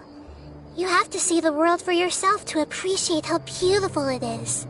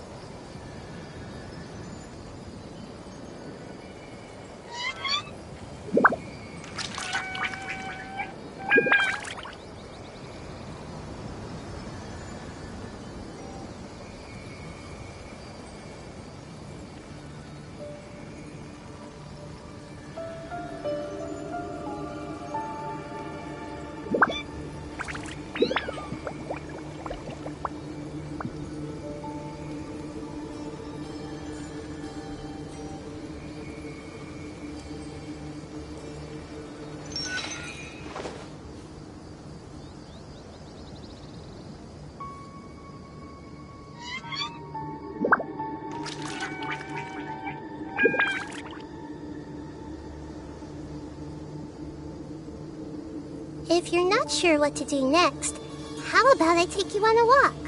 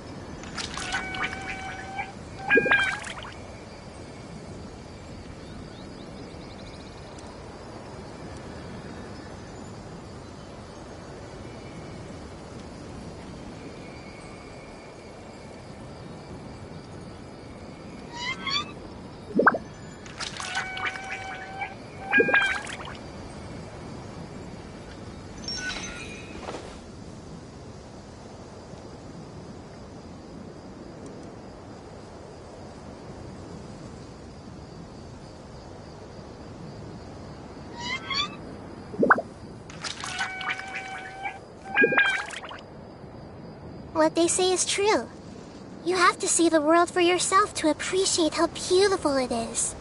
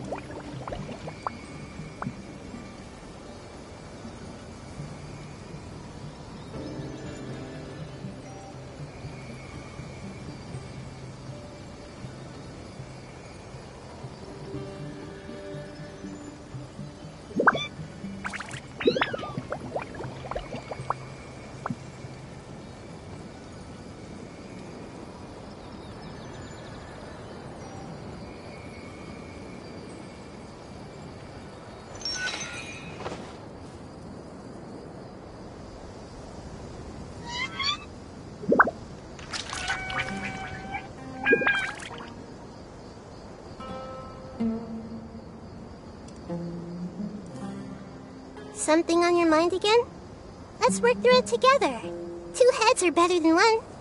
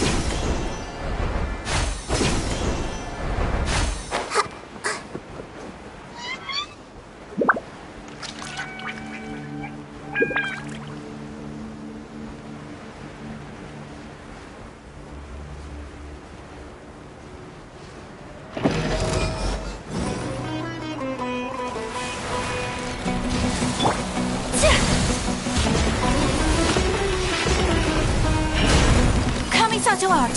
Sumetsu! Uh, take flight!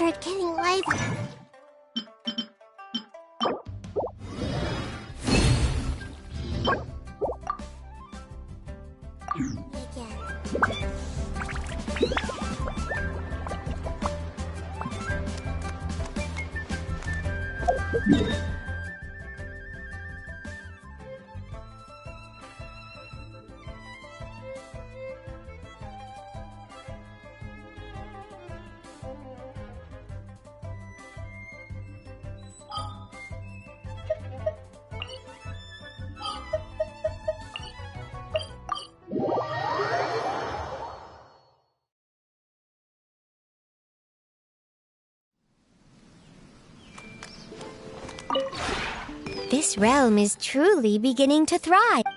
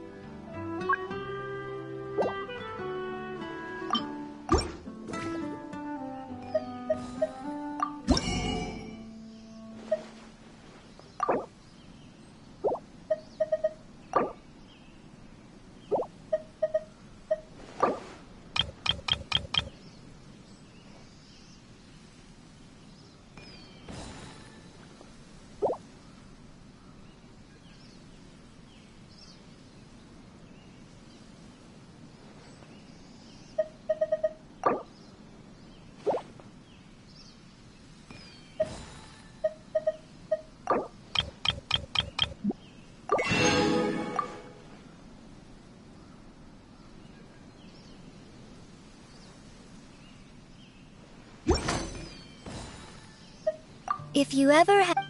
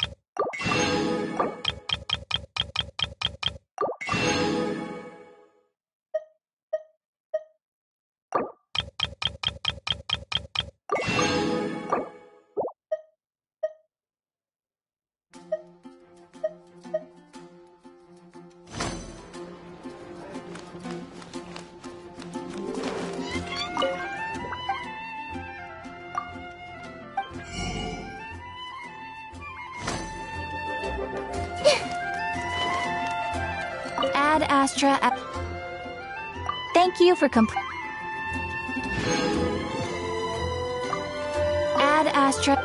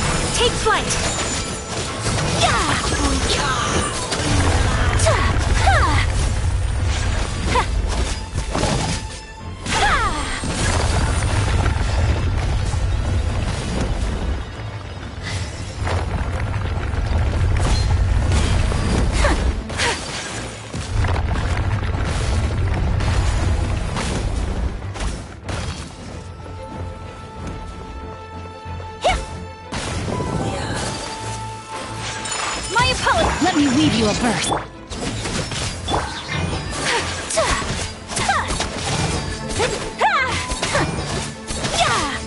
Take flight! Commit it to memory!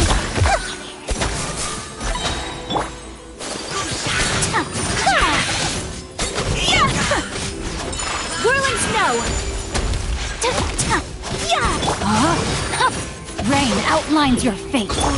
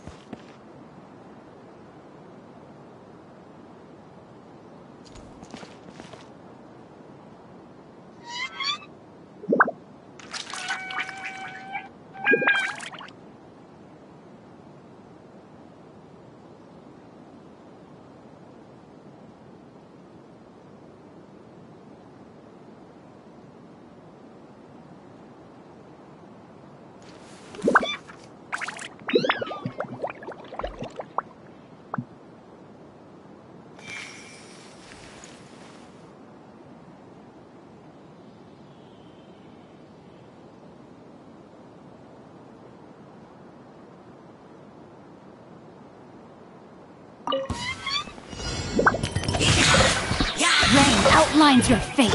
Witness This Let's face through the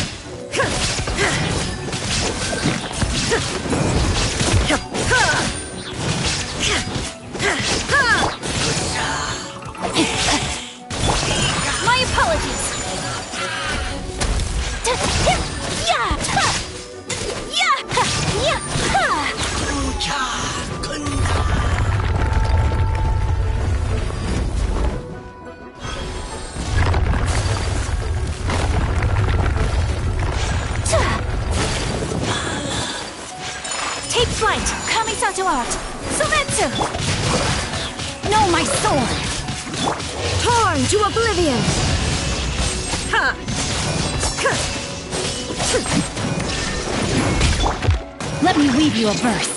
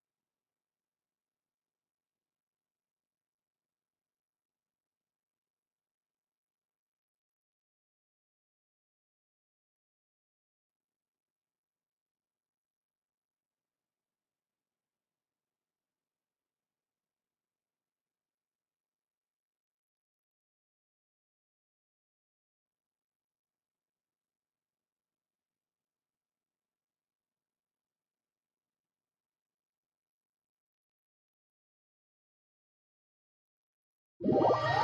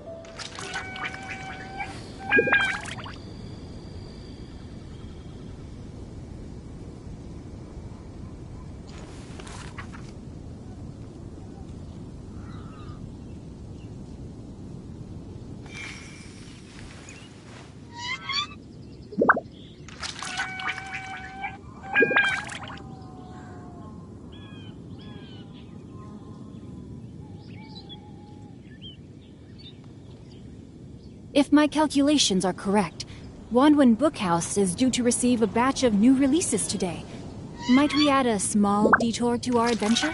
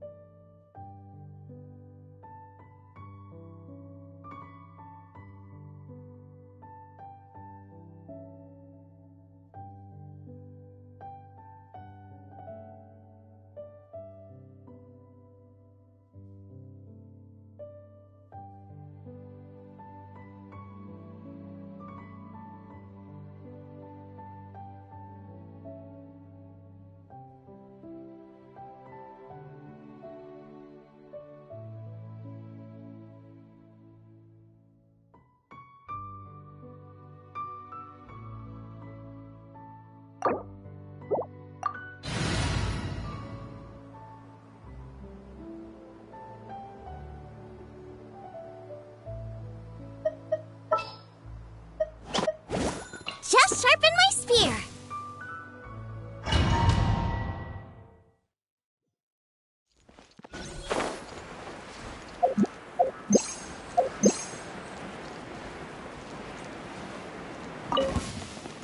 Rain outlines your face.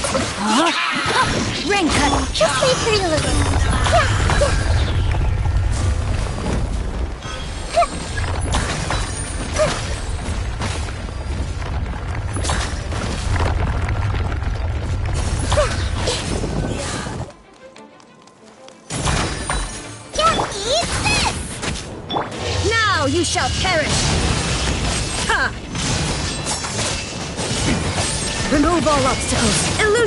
Rain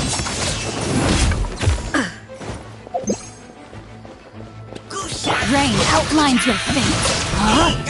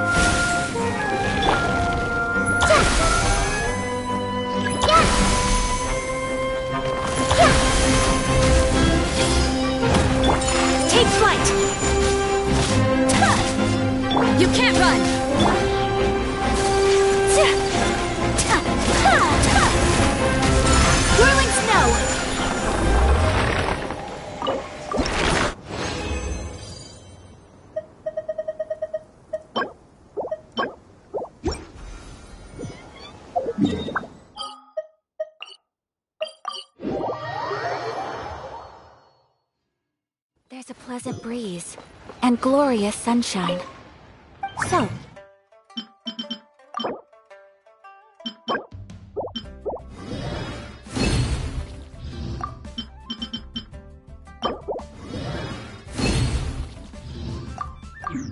where shall we go for a walk?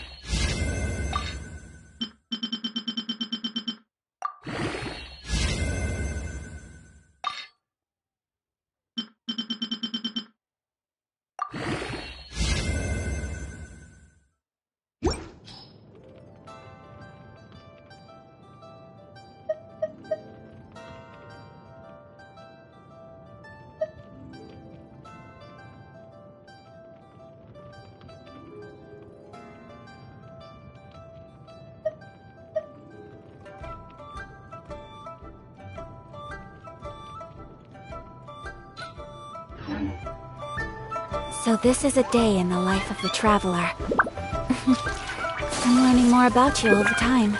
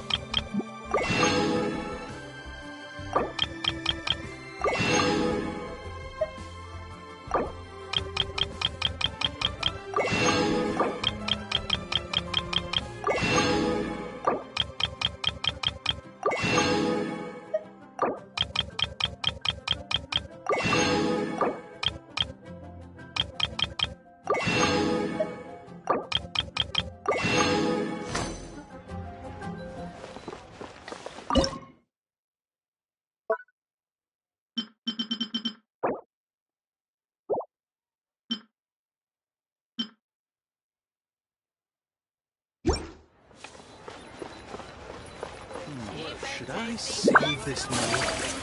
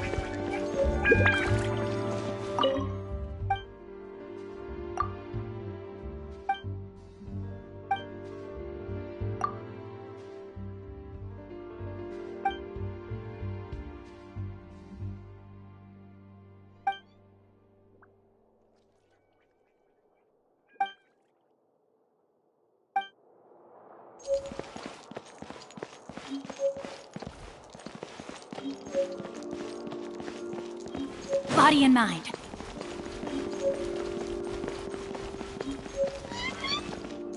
I gotta make sure Lynette stays away from the dish racks.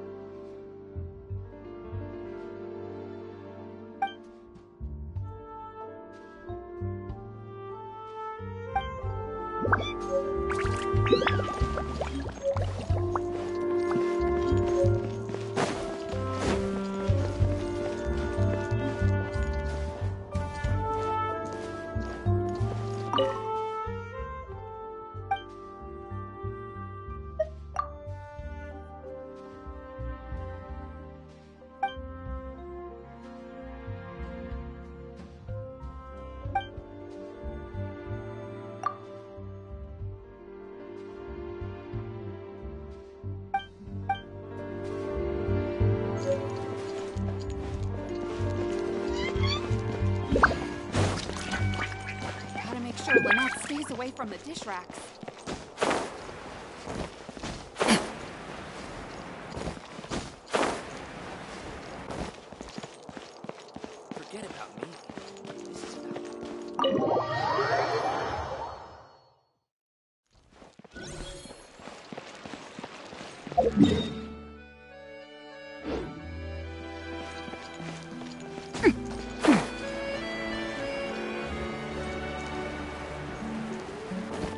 Time to act.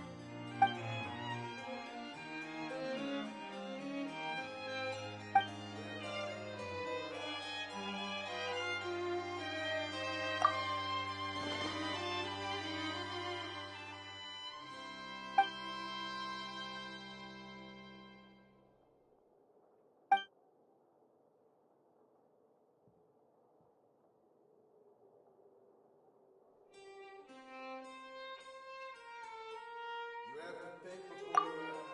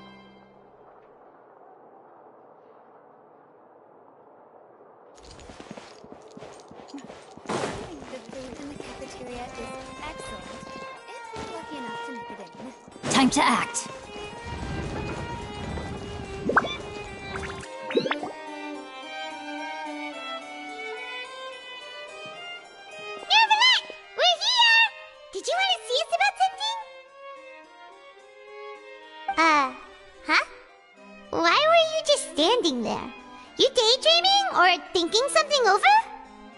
Yes, I did send someone to fetch you. But as for what I'd like to discuss next, well, I still have some reservations. Given that we've already made the trip here, you should just tell us. Bet you need us to help you with something, right? I do indeed have something I'd like to ask you to do. However, you should wait until after I tell you the details, then decide for yourselves whether you'd like to help or not. The situation is this. If I'm understanding you correctly, the Snezhnayan Harbinger known as the Knave has essentially requested a diplomatic meeting with you, correct? I heard that she was originally from Fontaine, but for her to suddenly arrive here and abruptly request such a meeting like this, I sincerely advise you to refuse her invitation outright. Hmm.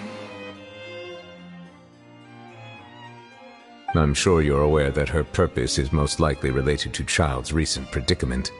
We convicted one of the Snezhnayan Harbingers in a court of law, but we have yet to provide any form of detailed report on the matter.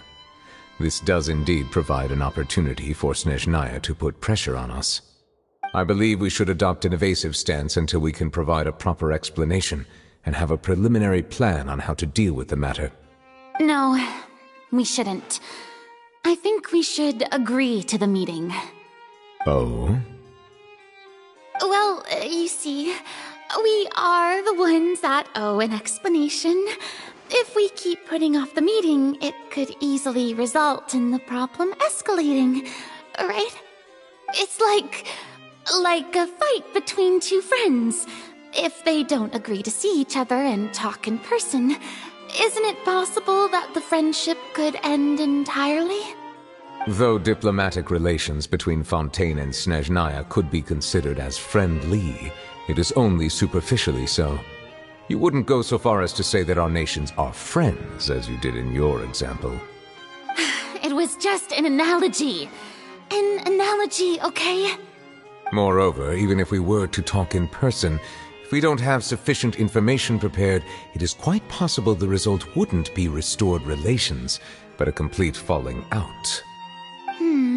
I don't think we should overthink those possibilities yet. Even if the logic of the divine is not immediately apparent, its wisdom will only be revealed with time. Besides, you'll be at the meeting. If any problems do pop up, you'll have no problem navigating them. I must clarify that interacting and communicating with people outside of court is not my cup of tea. It seems you think too much of me. But more importantly, when did I agree to join the meeting with you? you mean you won't come? No, no, no, no, that, that won't do. I can't go to the meeting alone. You have to accompany me. I must take you with me. Lady Furina, could there be something else regarding this matter that is being kept from me? No, not at all. Look, I am the Hydro Archon of Fontaine, Focalor, the god of justice who is loved and adored by many. So I only hope that justice will be served in this matter. Don't overthink it. I'll go find someone to arrange the meeting.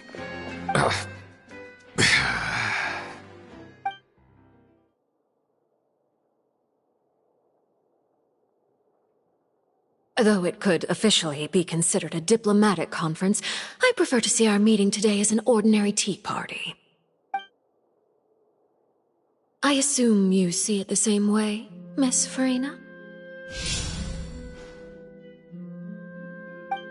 Hmm. Lady Furina? Yes, yes, that's right. Just like you said, a tea party. I should thank you for providing the pastries. They look delectable. To make this tea party even more lively, I've invited someone else to join us today. It's a pleasure to meet you, Monsieur Neuvillette. I was born in Fontaine, so naturally, there's no need to introduce the nation's revered Iudex to me. Hello. The pleasure is also mine. First, I would like to thank the two of you. I'm often away on business outside of Fontaine, and I'm told that the children of the House of the Hearth have been well taken care of by you. Uh, Oh, I'm not referring to when my children, Lyney and Lynette, were falsely accused by you. Please don't misunderstand. The children of the House of the Hearth are often misunderstood, perhaps due to the reputation of the Fatui. There's no getting around that. All I meant to say is that Fontaine has been stable in recent years. The people are well off and the children lead happy, fulfilled lives. That is something truly worth cherishing, and no one wishes to disrupt such peace. Now then, you have come regarding the matter of Childe, correct? Well, yes. It appears the ever busy Iudex Neuvillette doesn't wish to waste time with diplomatic pleasantries and hopes that we can get straight to the point of our talk. Yes, as you surmised, understanding Childe's situation is indeed one of the goals of this trip. As we are both diplomats from Snezhnaya as well as Fatui harbingers, Childe and I have always been colleagues. Were anything to happen in Fontaine, each of us would serve as the other's attorney to resolve the issue. So now, in my capacity as his attorney, I request that Childe be turned over to Snezhnaya. We have a responsibility to cooperate with Fontaine and resolve what has happened to him together. The rules governing attorneys only apply before a trial has concluded. Since a verdict has already been rendered, we see the case as settled. I apologize for being unable to grant your request. An outright refusal. Very well. I respect all the rules of Fontaine's courts, just as I respect you as Chief Justice. Okay, why don't we back up a step? You don't need to transfer Childe to us. I only request to enter the fortress of Meropide to see Childe and confirm his condition. It's not like you couldn't even manage to fulfill a simple request like that. Right, Miss Furina? uh, um, about that. The fortress of Meropide has always been completely autonomous. Even we have no authority to interfere there, and diplomatic issues do not suffice as an excuse. However, if you absolutely must confirm the situation of the Harbinger, I have a proposal.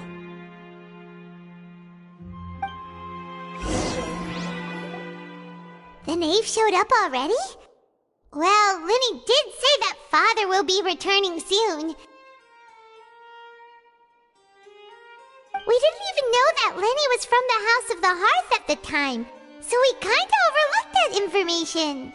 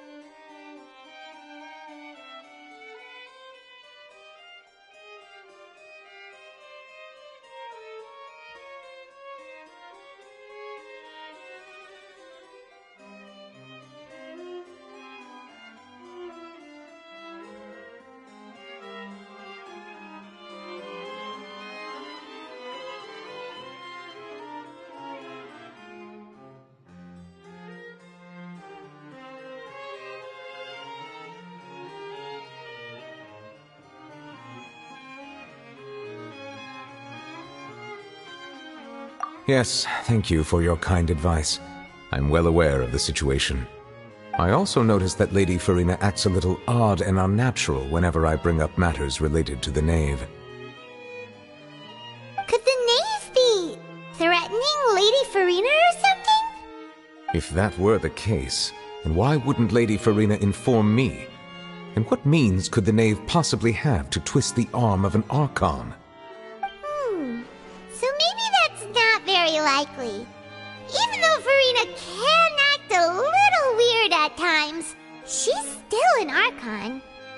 In reality, this problem is even more thorny than it appears. According to reports from the fortress of Meropide, Childe recently disappeared under mysterious circumstances.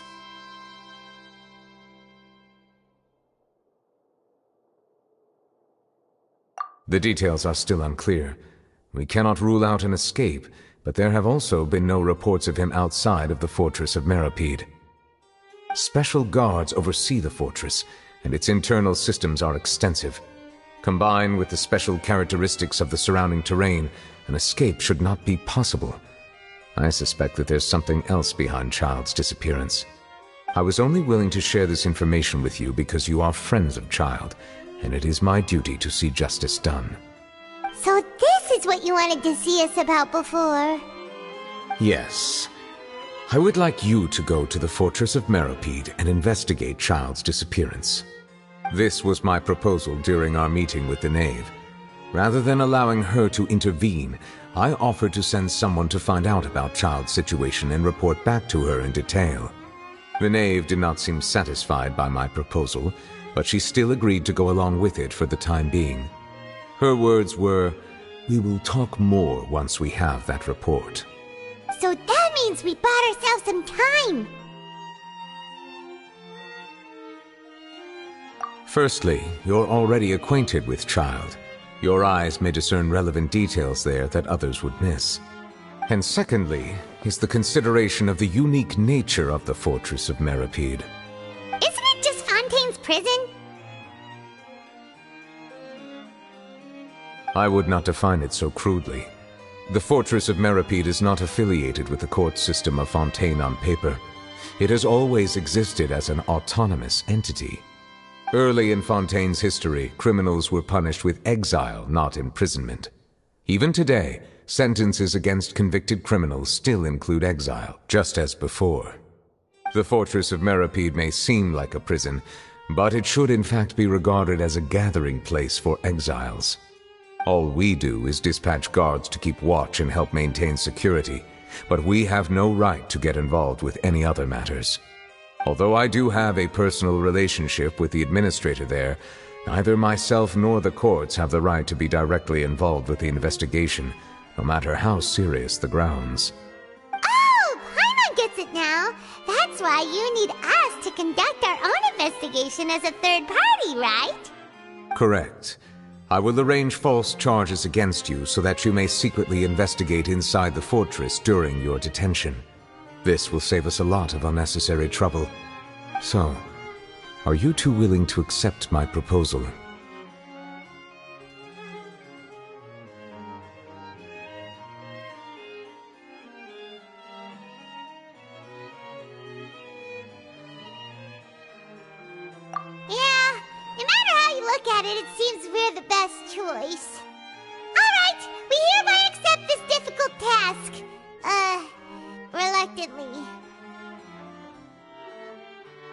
You two have my sincere thanks. This matter is of critical importance to Fontaine's current situation. Also, I hope that both of you can keep this operation a secret. We will rendezvous at the Fortress of Meropide's entrance on Erinius once you've prepared yourselves. I will arrange for someone to take you inside. Prepared ourselves? Uh, is there something we need to prepare? Perhaps you could enjoy a good meal and have a nice bath. I'm afraid that living conditions inside the fortress are nothing like those on the outside world. Oh, right! Even though we'll be there on trumped up charges, we'll be in prison for real. Uh, on second thought, is it too late to back out?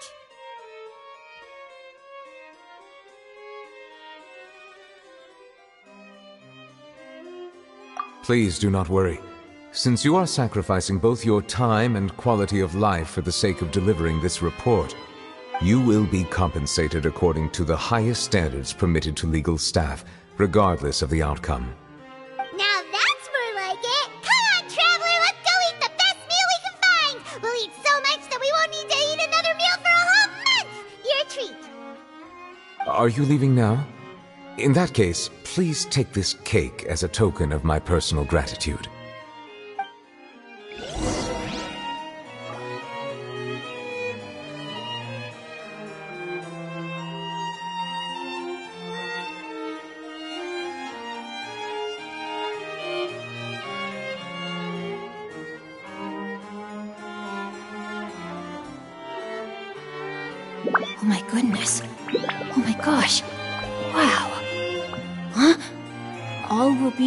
In the next volume? Oh, drat.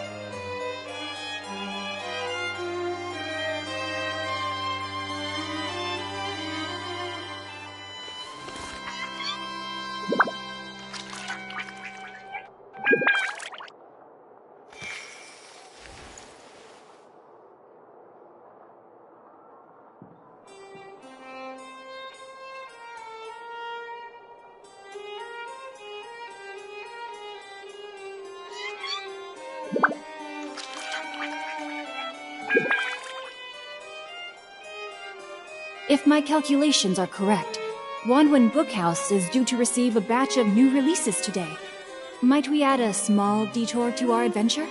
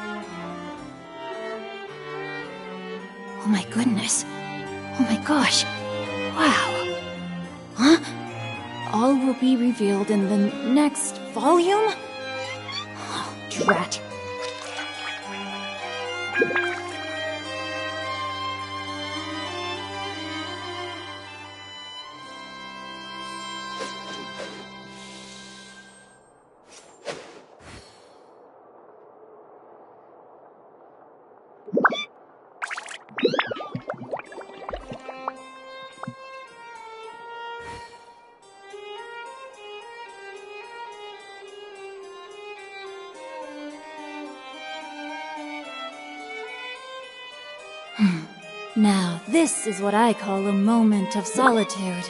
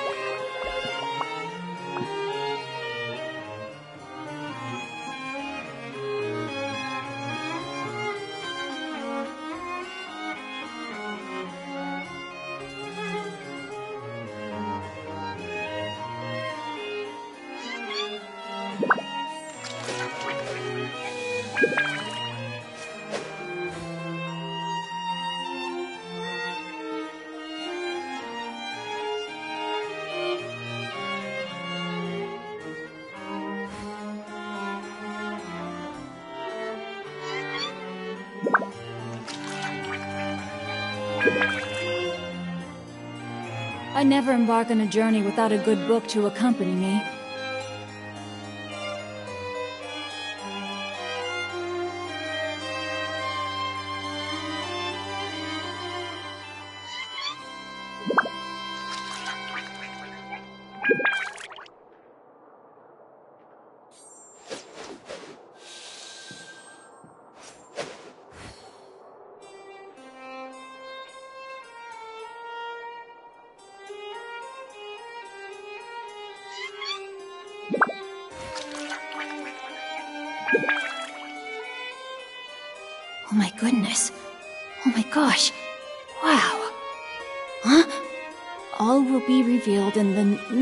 Volume?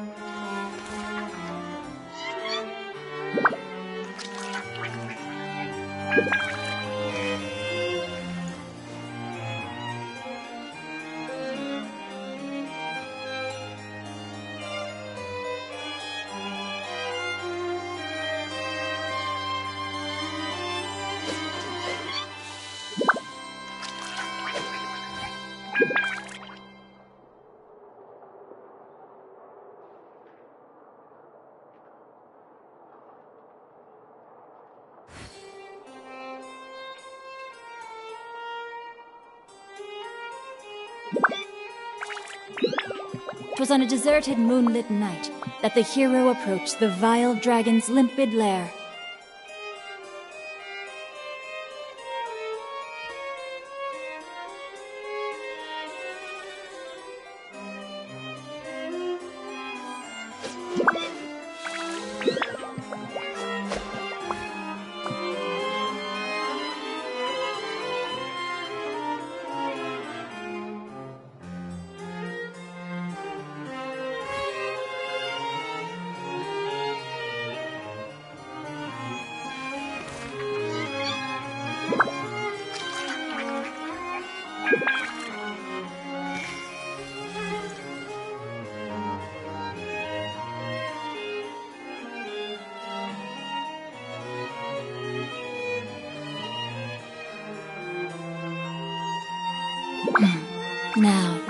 What I call a moment of solitude.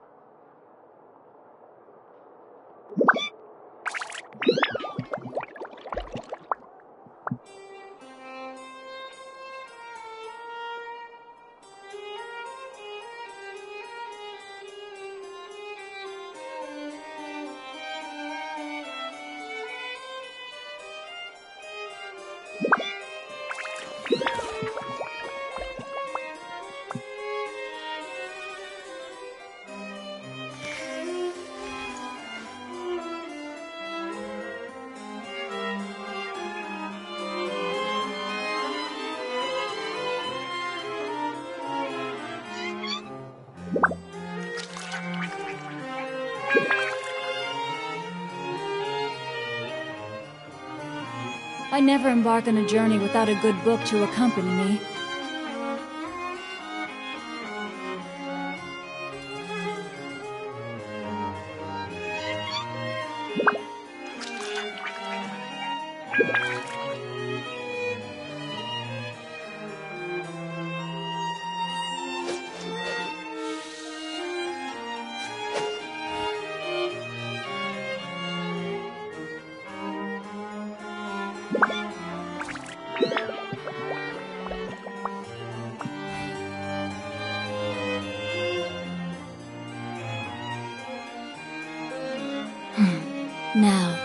What I call a moment of solitude.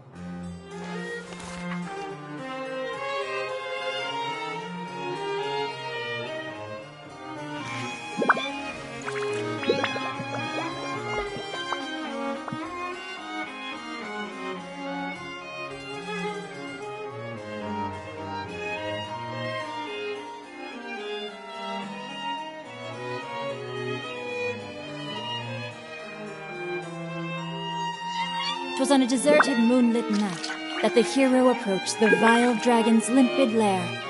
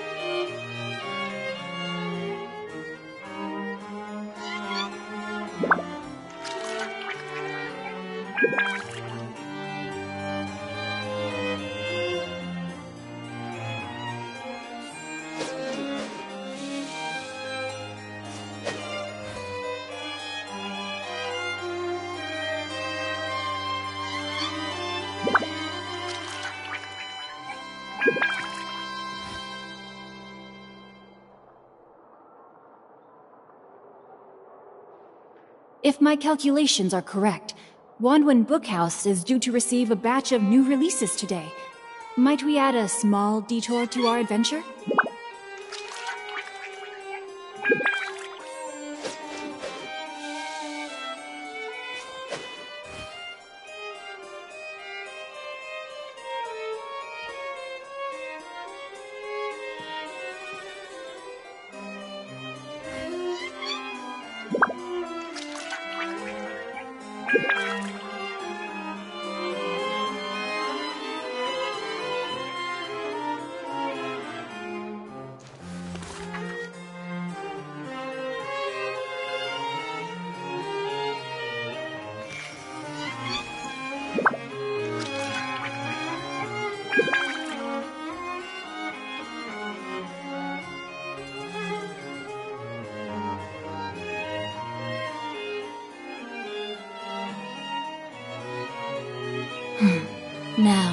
This is what I call a moment of solitude.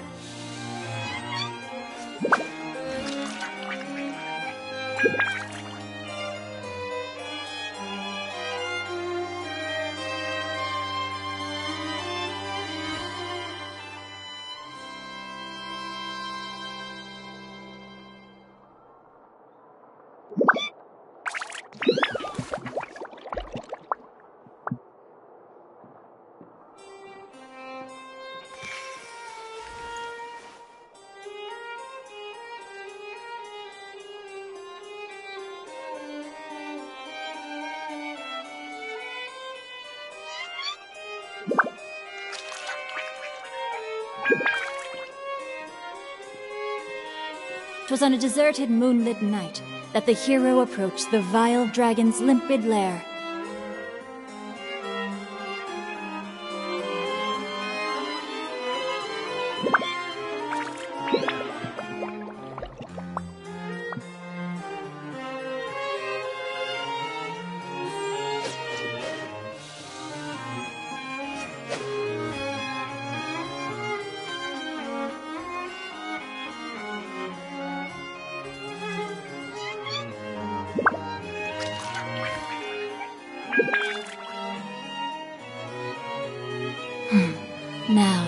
This is what I call a moment of solitude.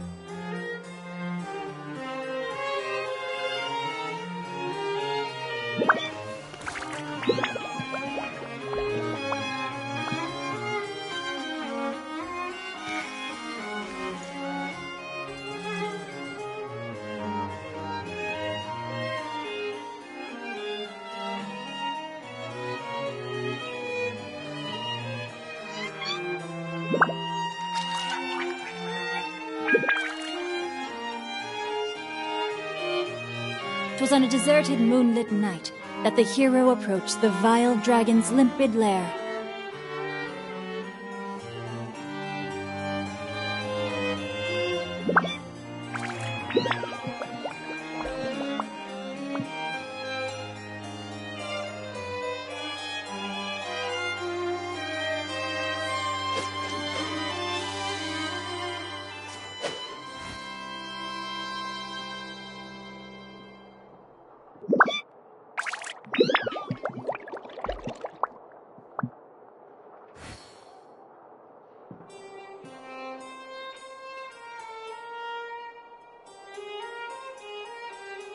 My calculations are correct, Wanwen Bookhouse is due to receive a batch of new releases today. Might we add a small detour to our adventure?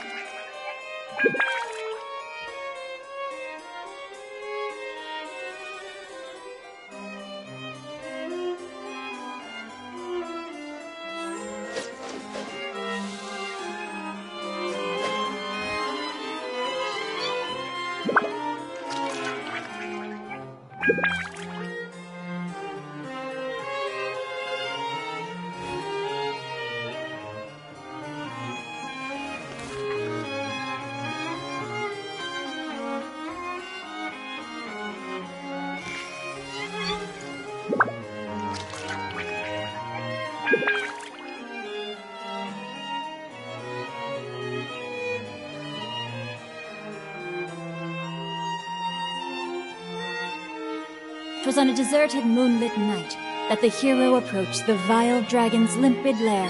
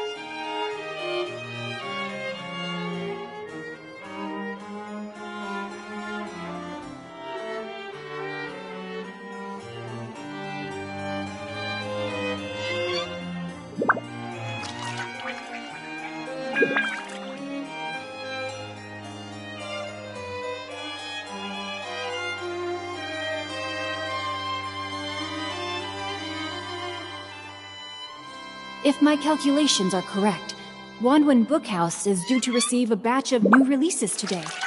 Might we add a small detour to our adventure?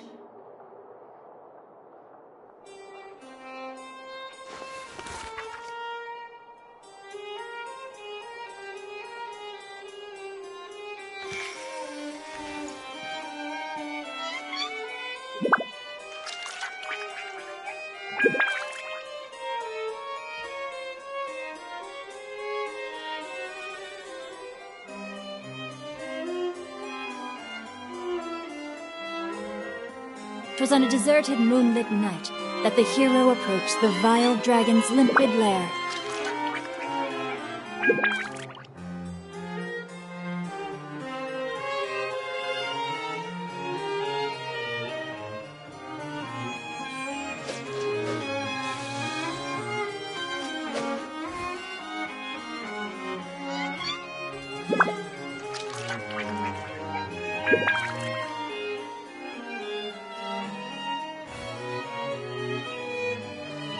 Never embark on a journey without a good book to accompany me.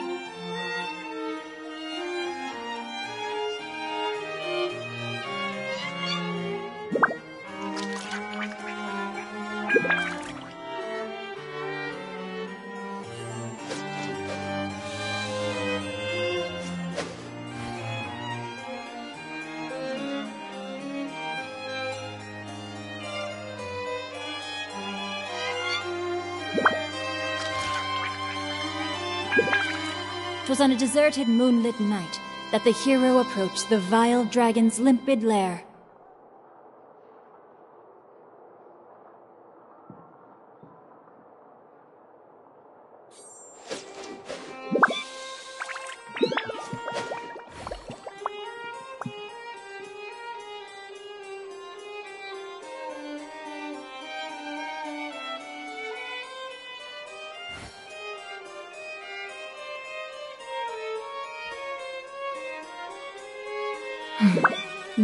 This is what I call a moment of solitude.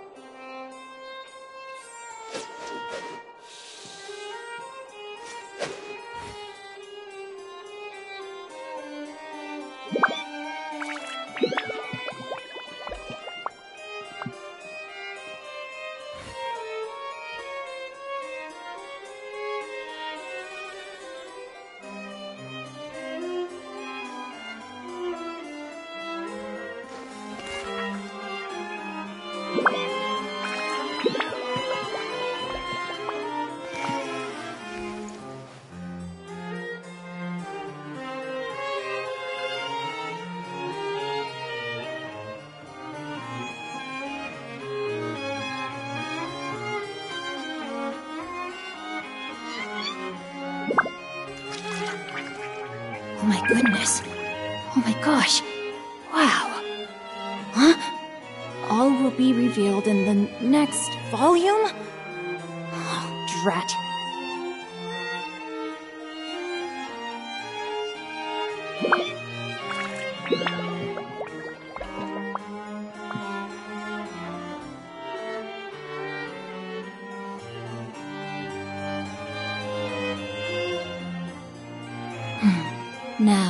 This is what I call a moment of solitude.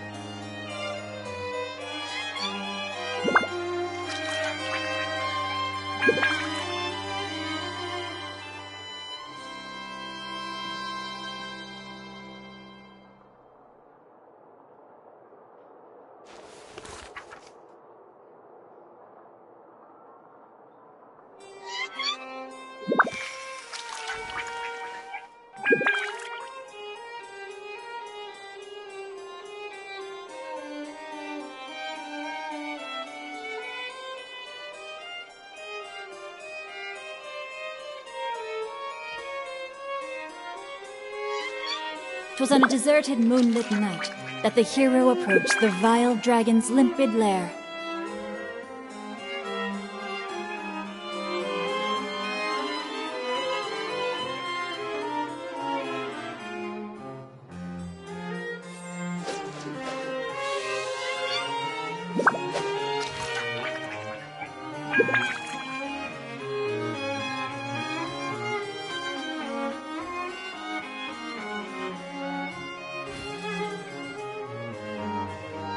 My calculations are correct, Wanwen Bookhouse is due to receive a batch of new releases today.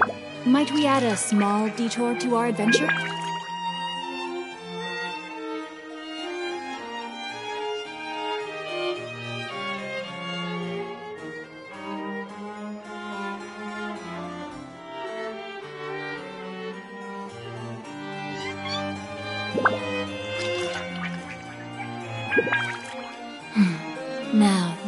What I call a moment of solitude.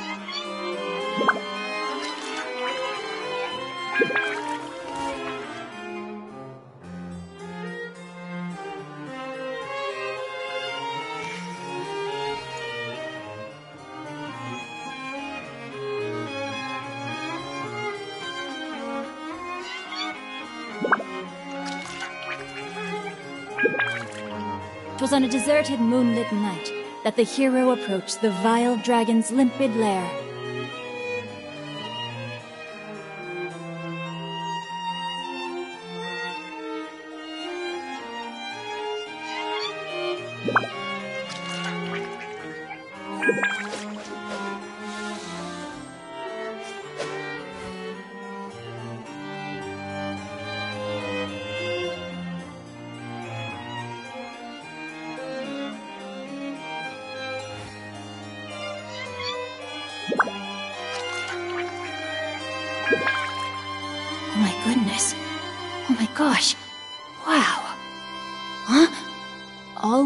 Revealed in the next volume? Oh, drat.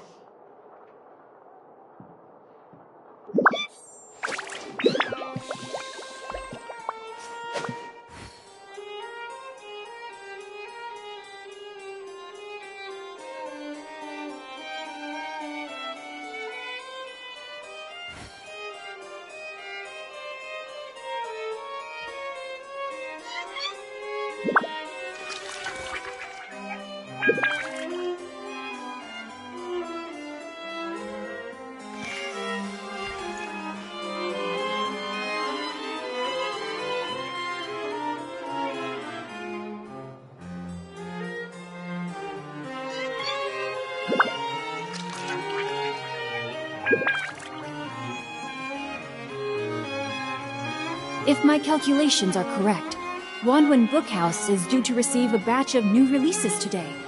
Might we add a small detour to our adventure?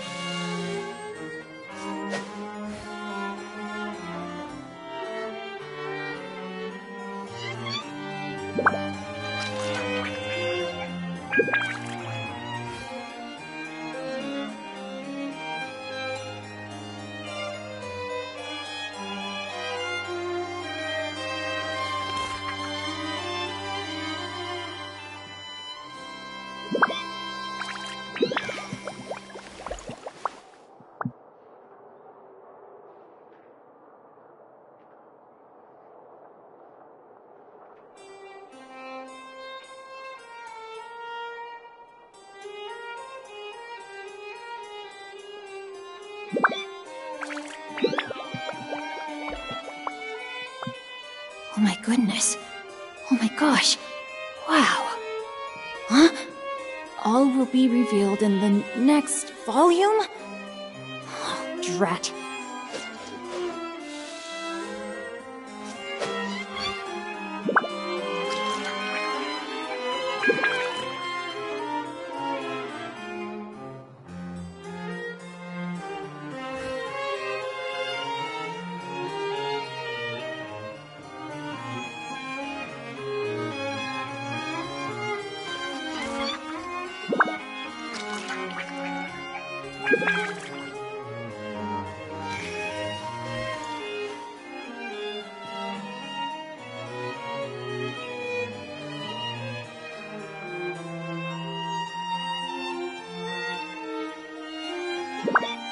My calculations are correct, Wanwen Bookhouse is due to receive a batch of new releases today. Might we add a small detour to our adventure?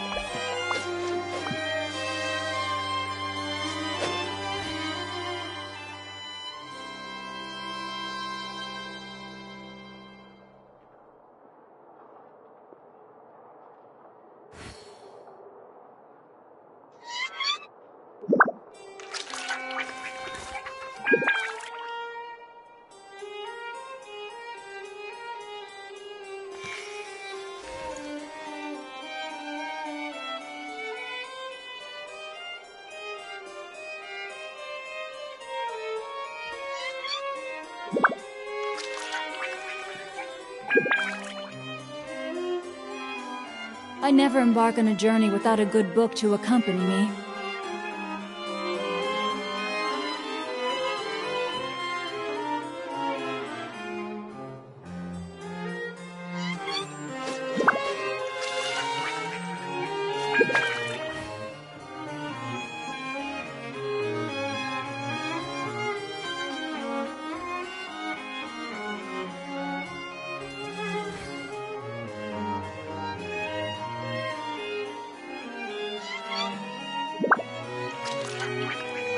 On a deserted moonlit night that the hero approached the vile dragon's limpid lair.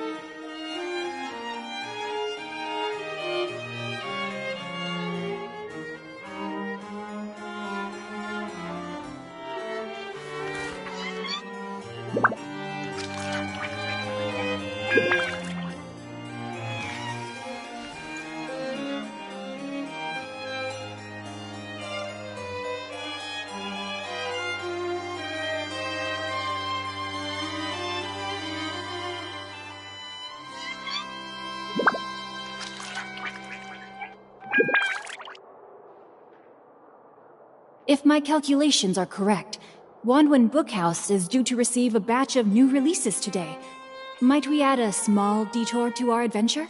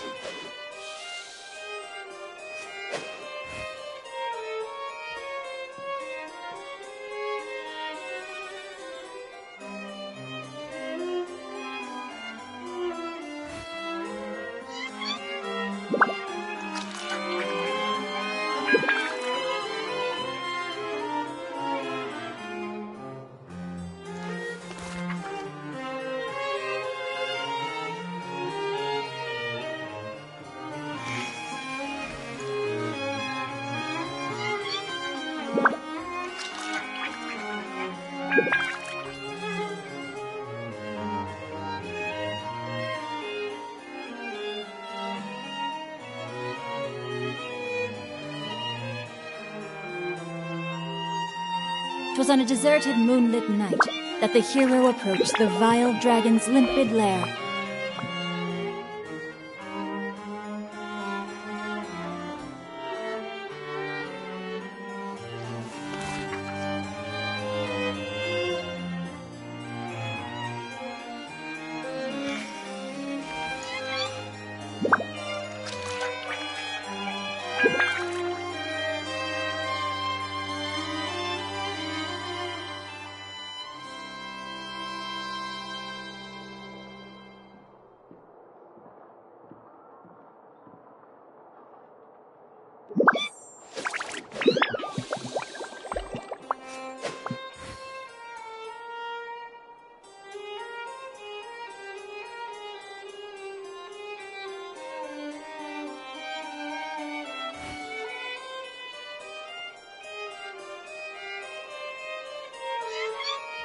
I never embark on a journey without a good book to accompany me.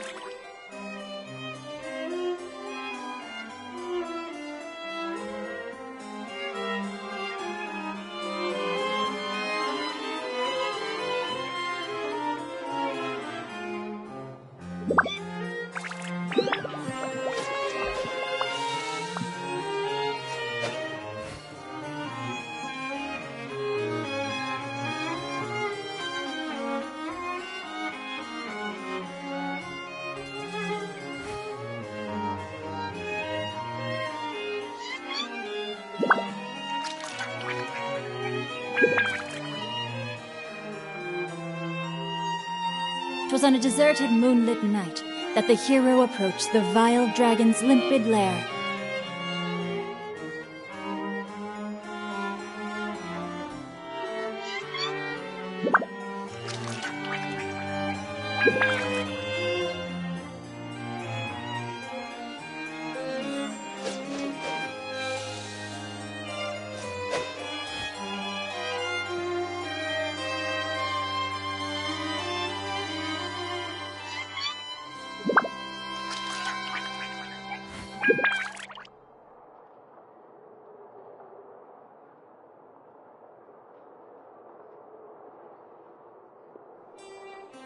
My calculations are correct, Wanwen Bookhouse is due to receive a batch of new releases today. Might we add a small detour to our adventure?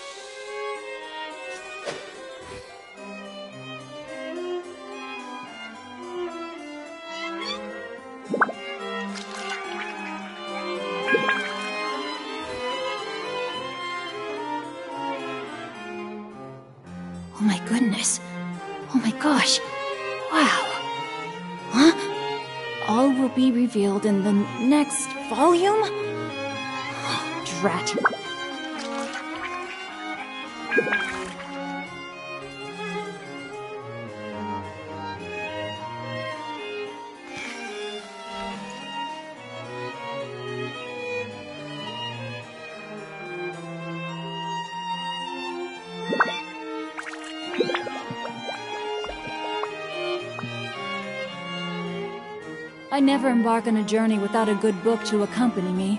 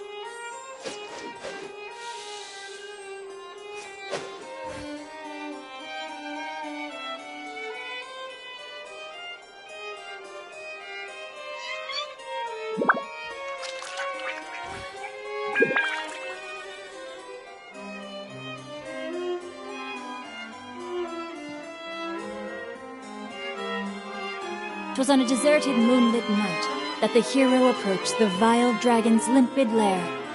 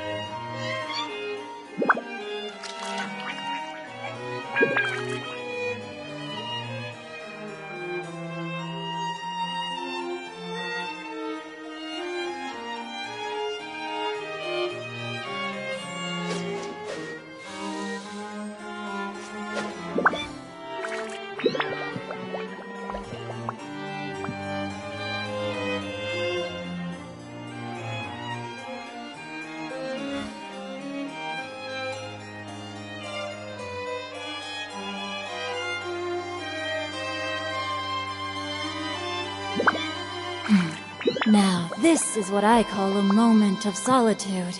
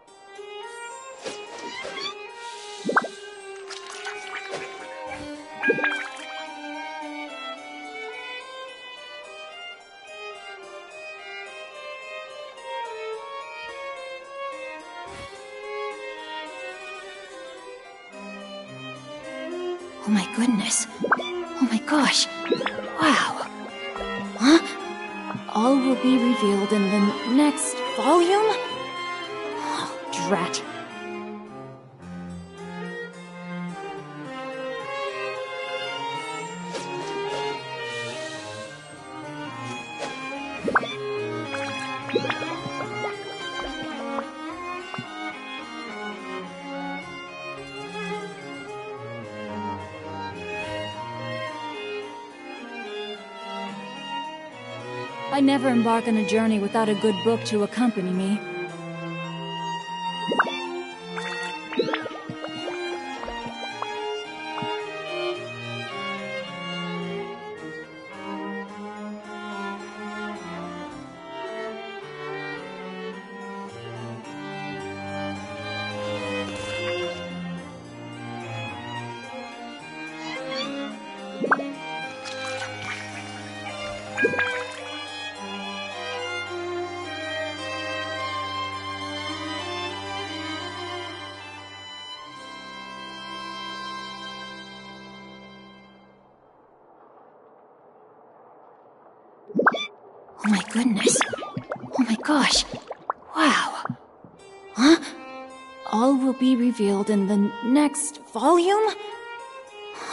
Oh,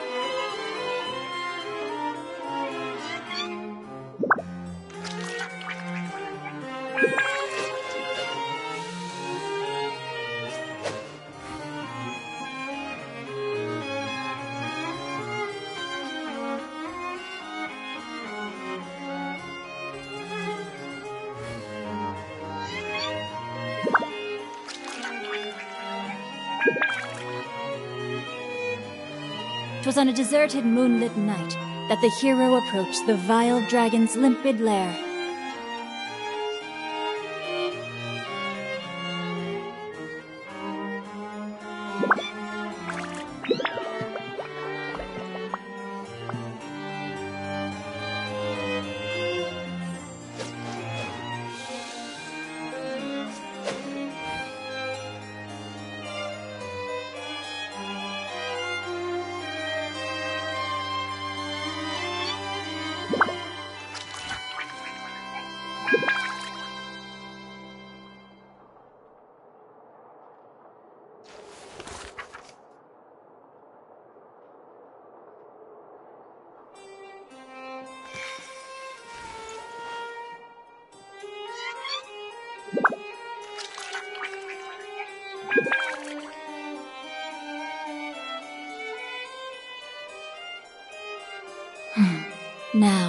This is what I call a moment of solitude.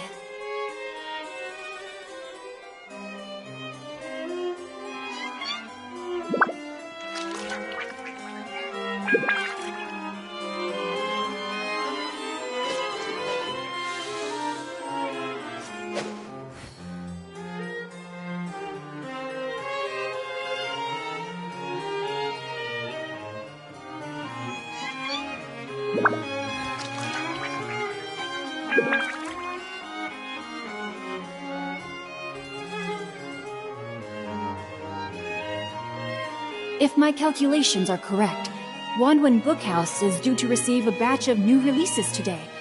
Might we add a small detour to our adventure?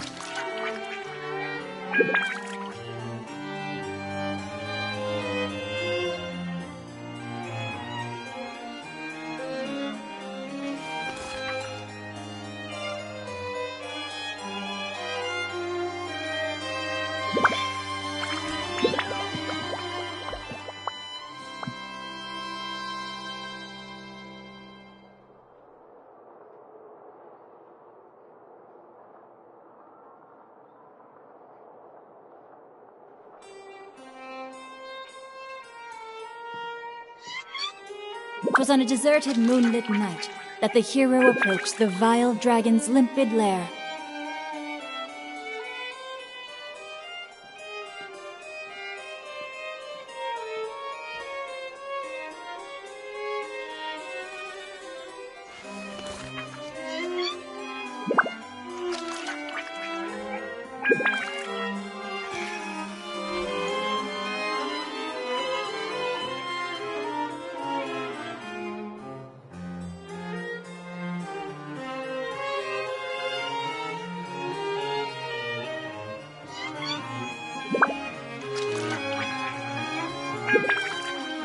Calculations are correct, Wanwen Bookhouse is due to receive a batch of new releases today.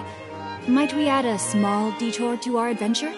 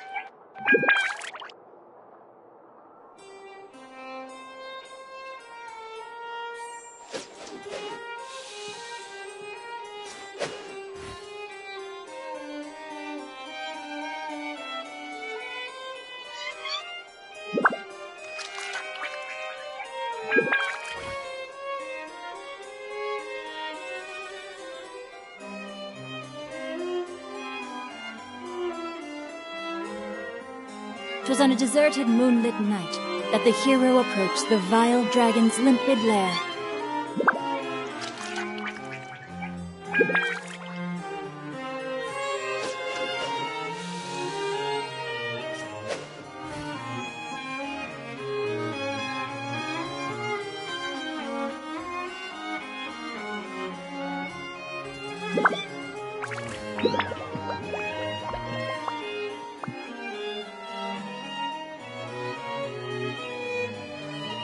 Never embark on a journey without a good book to accompany me.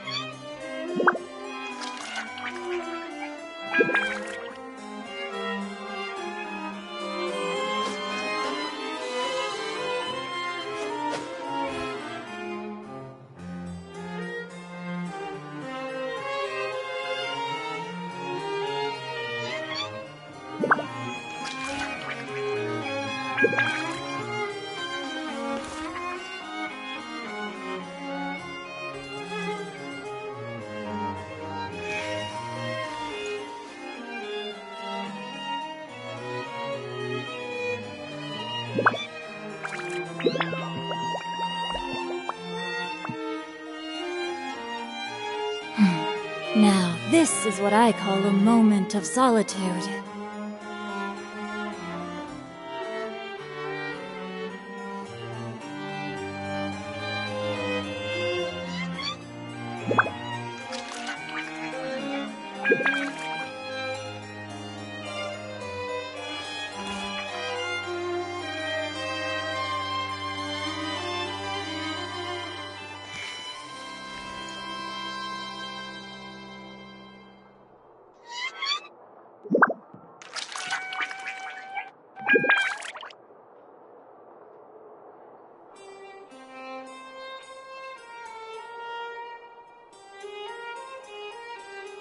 My calculations are correct, Wanwen Bookhouse is due to receive a batch of new releases today.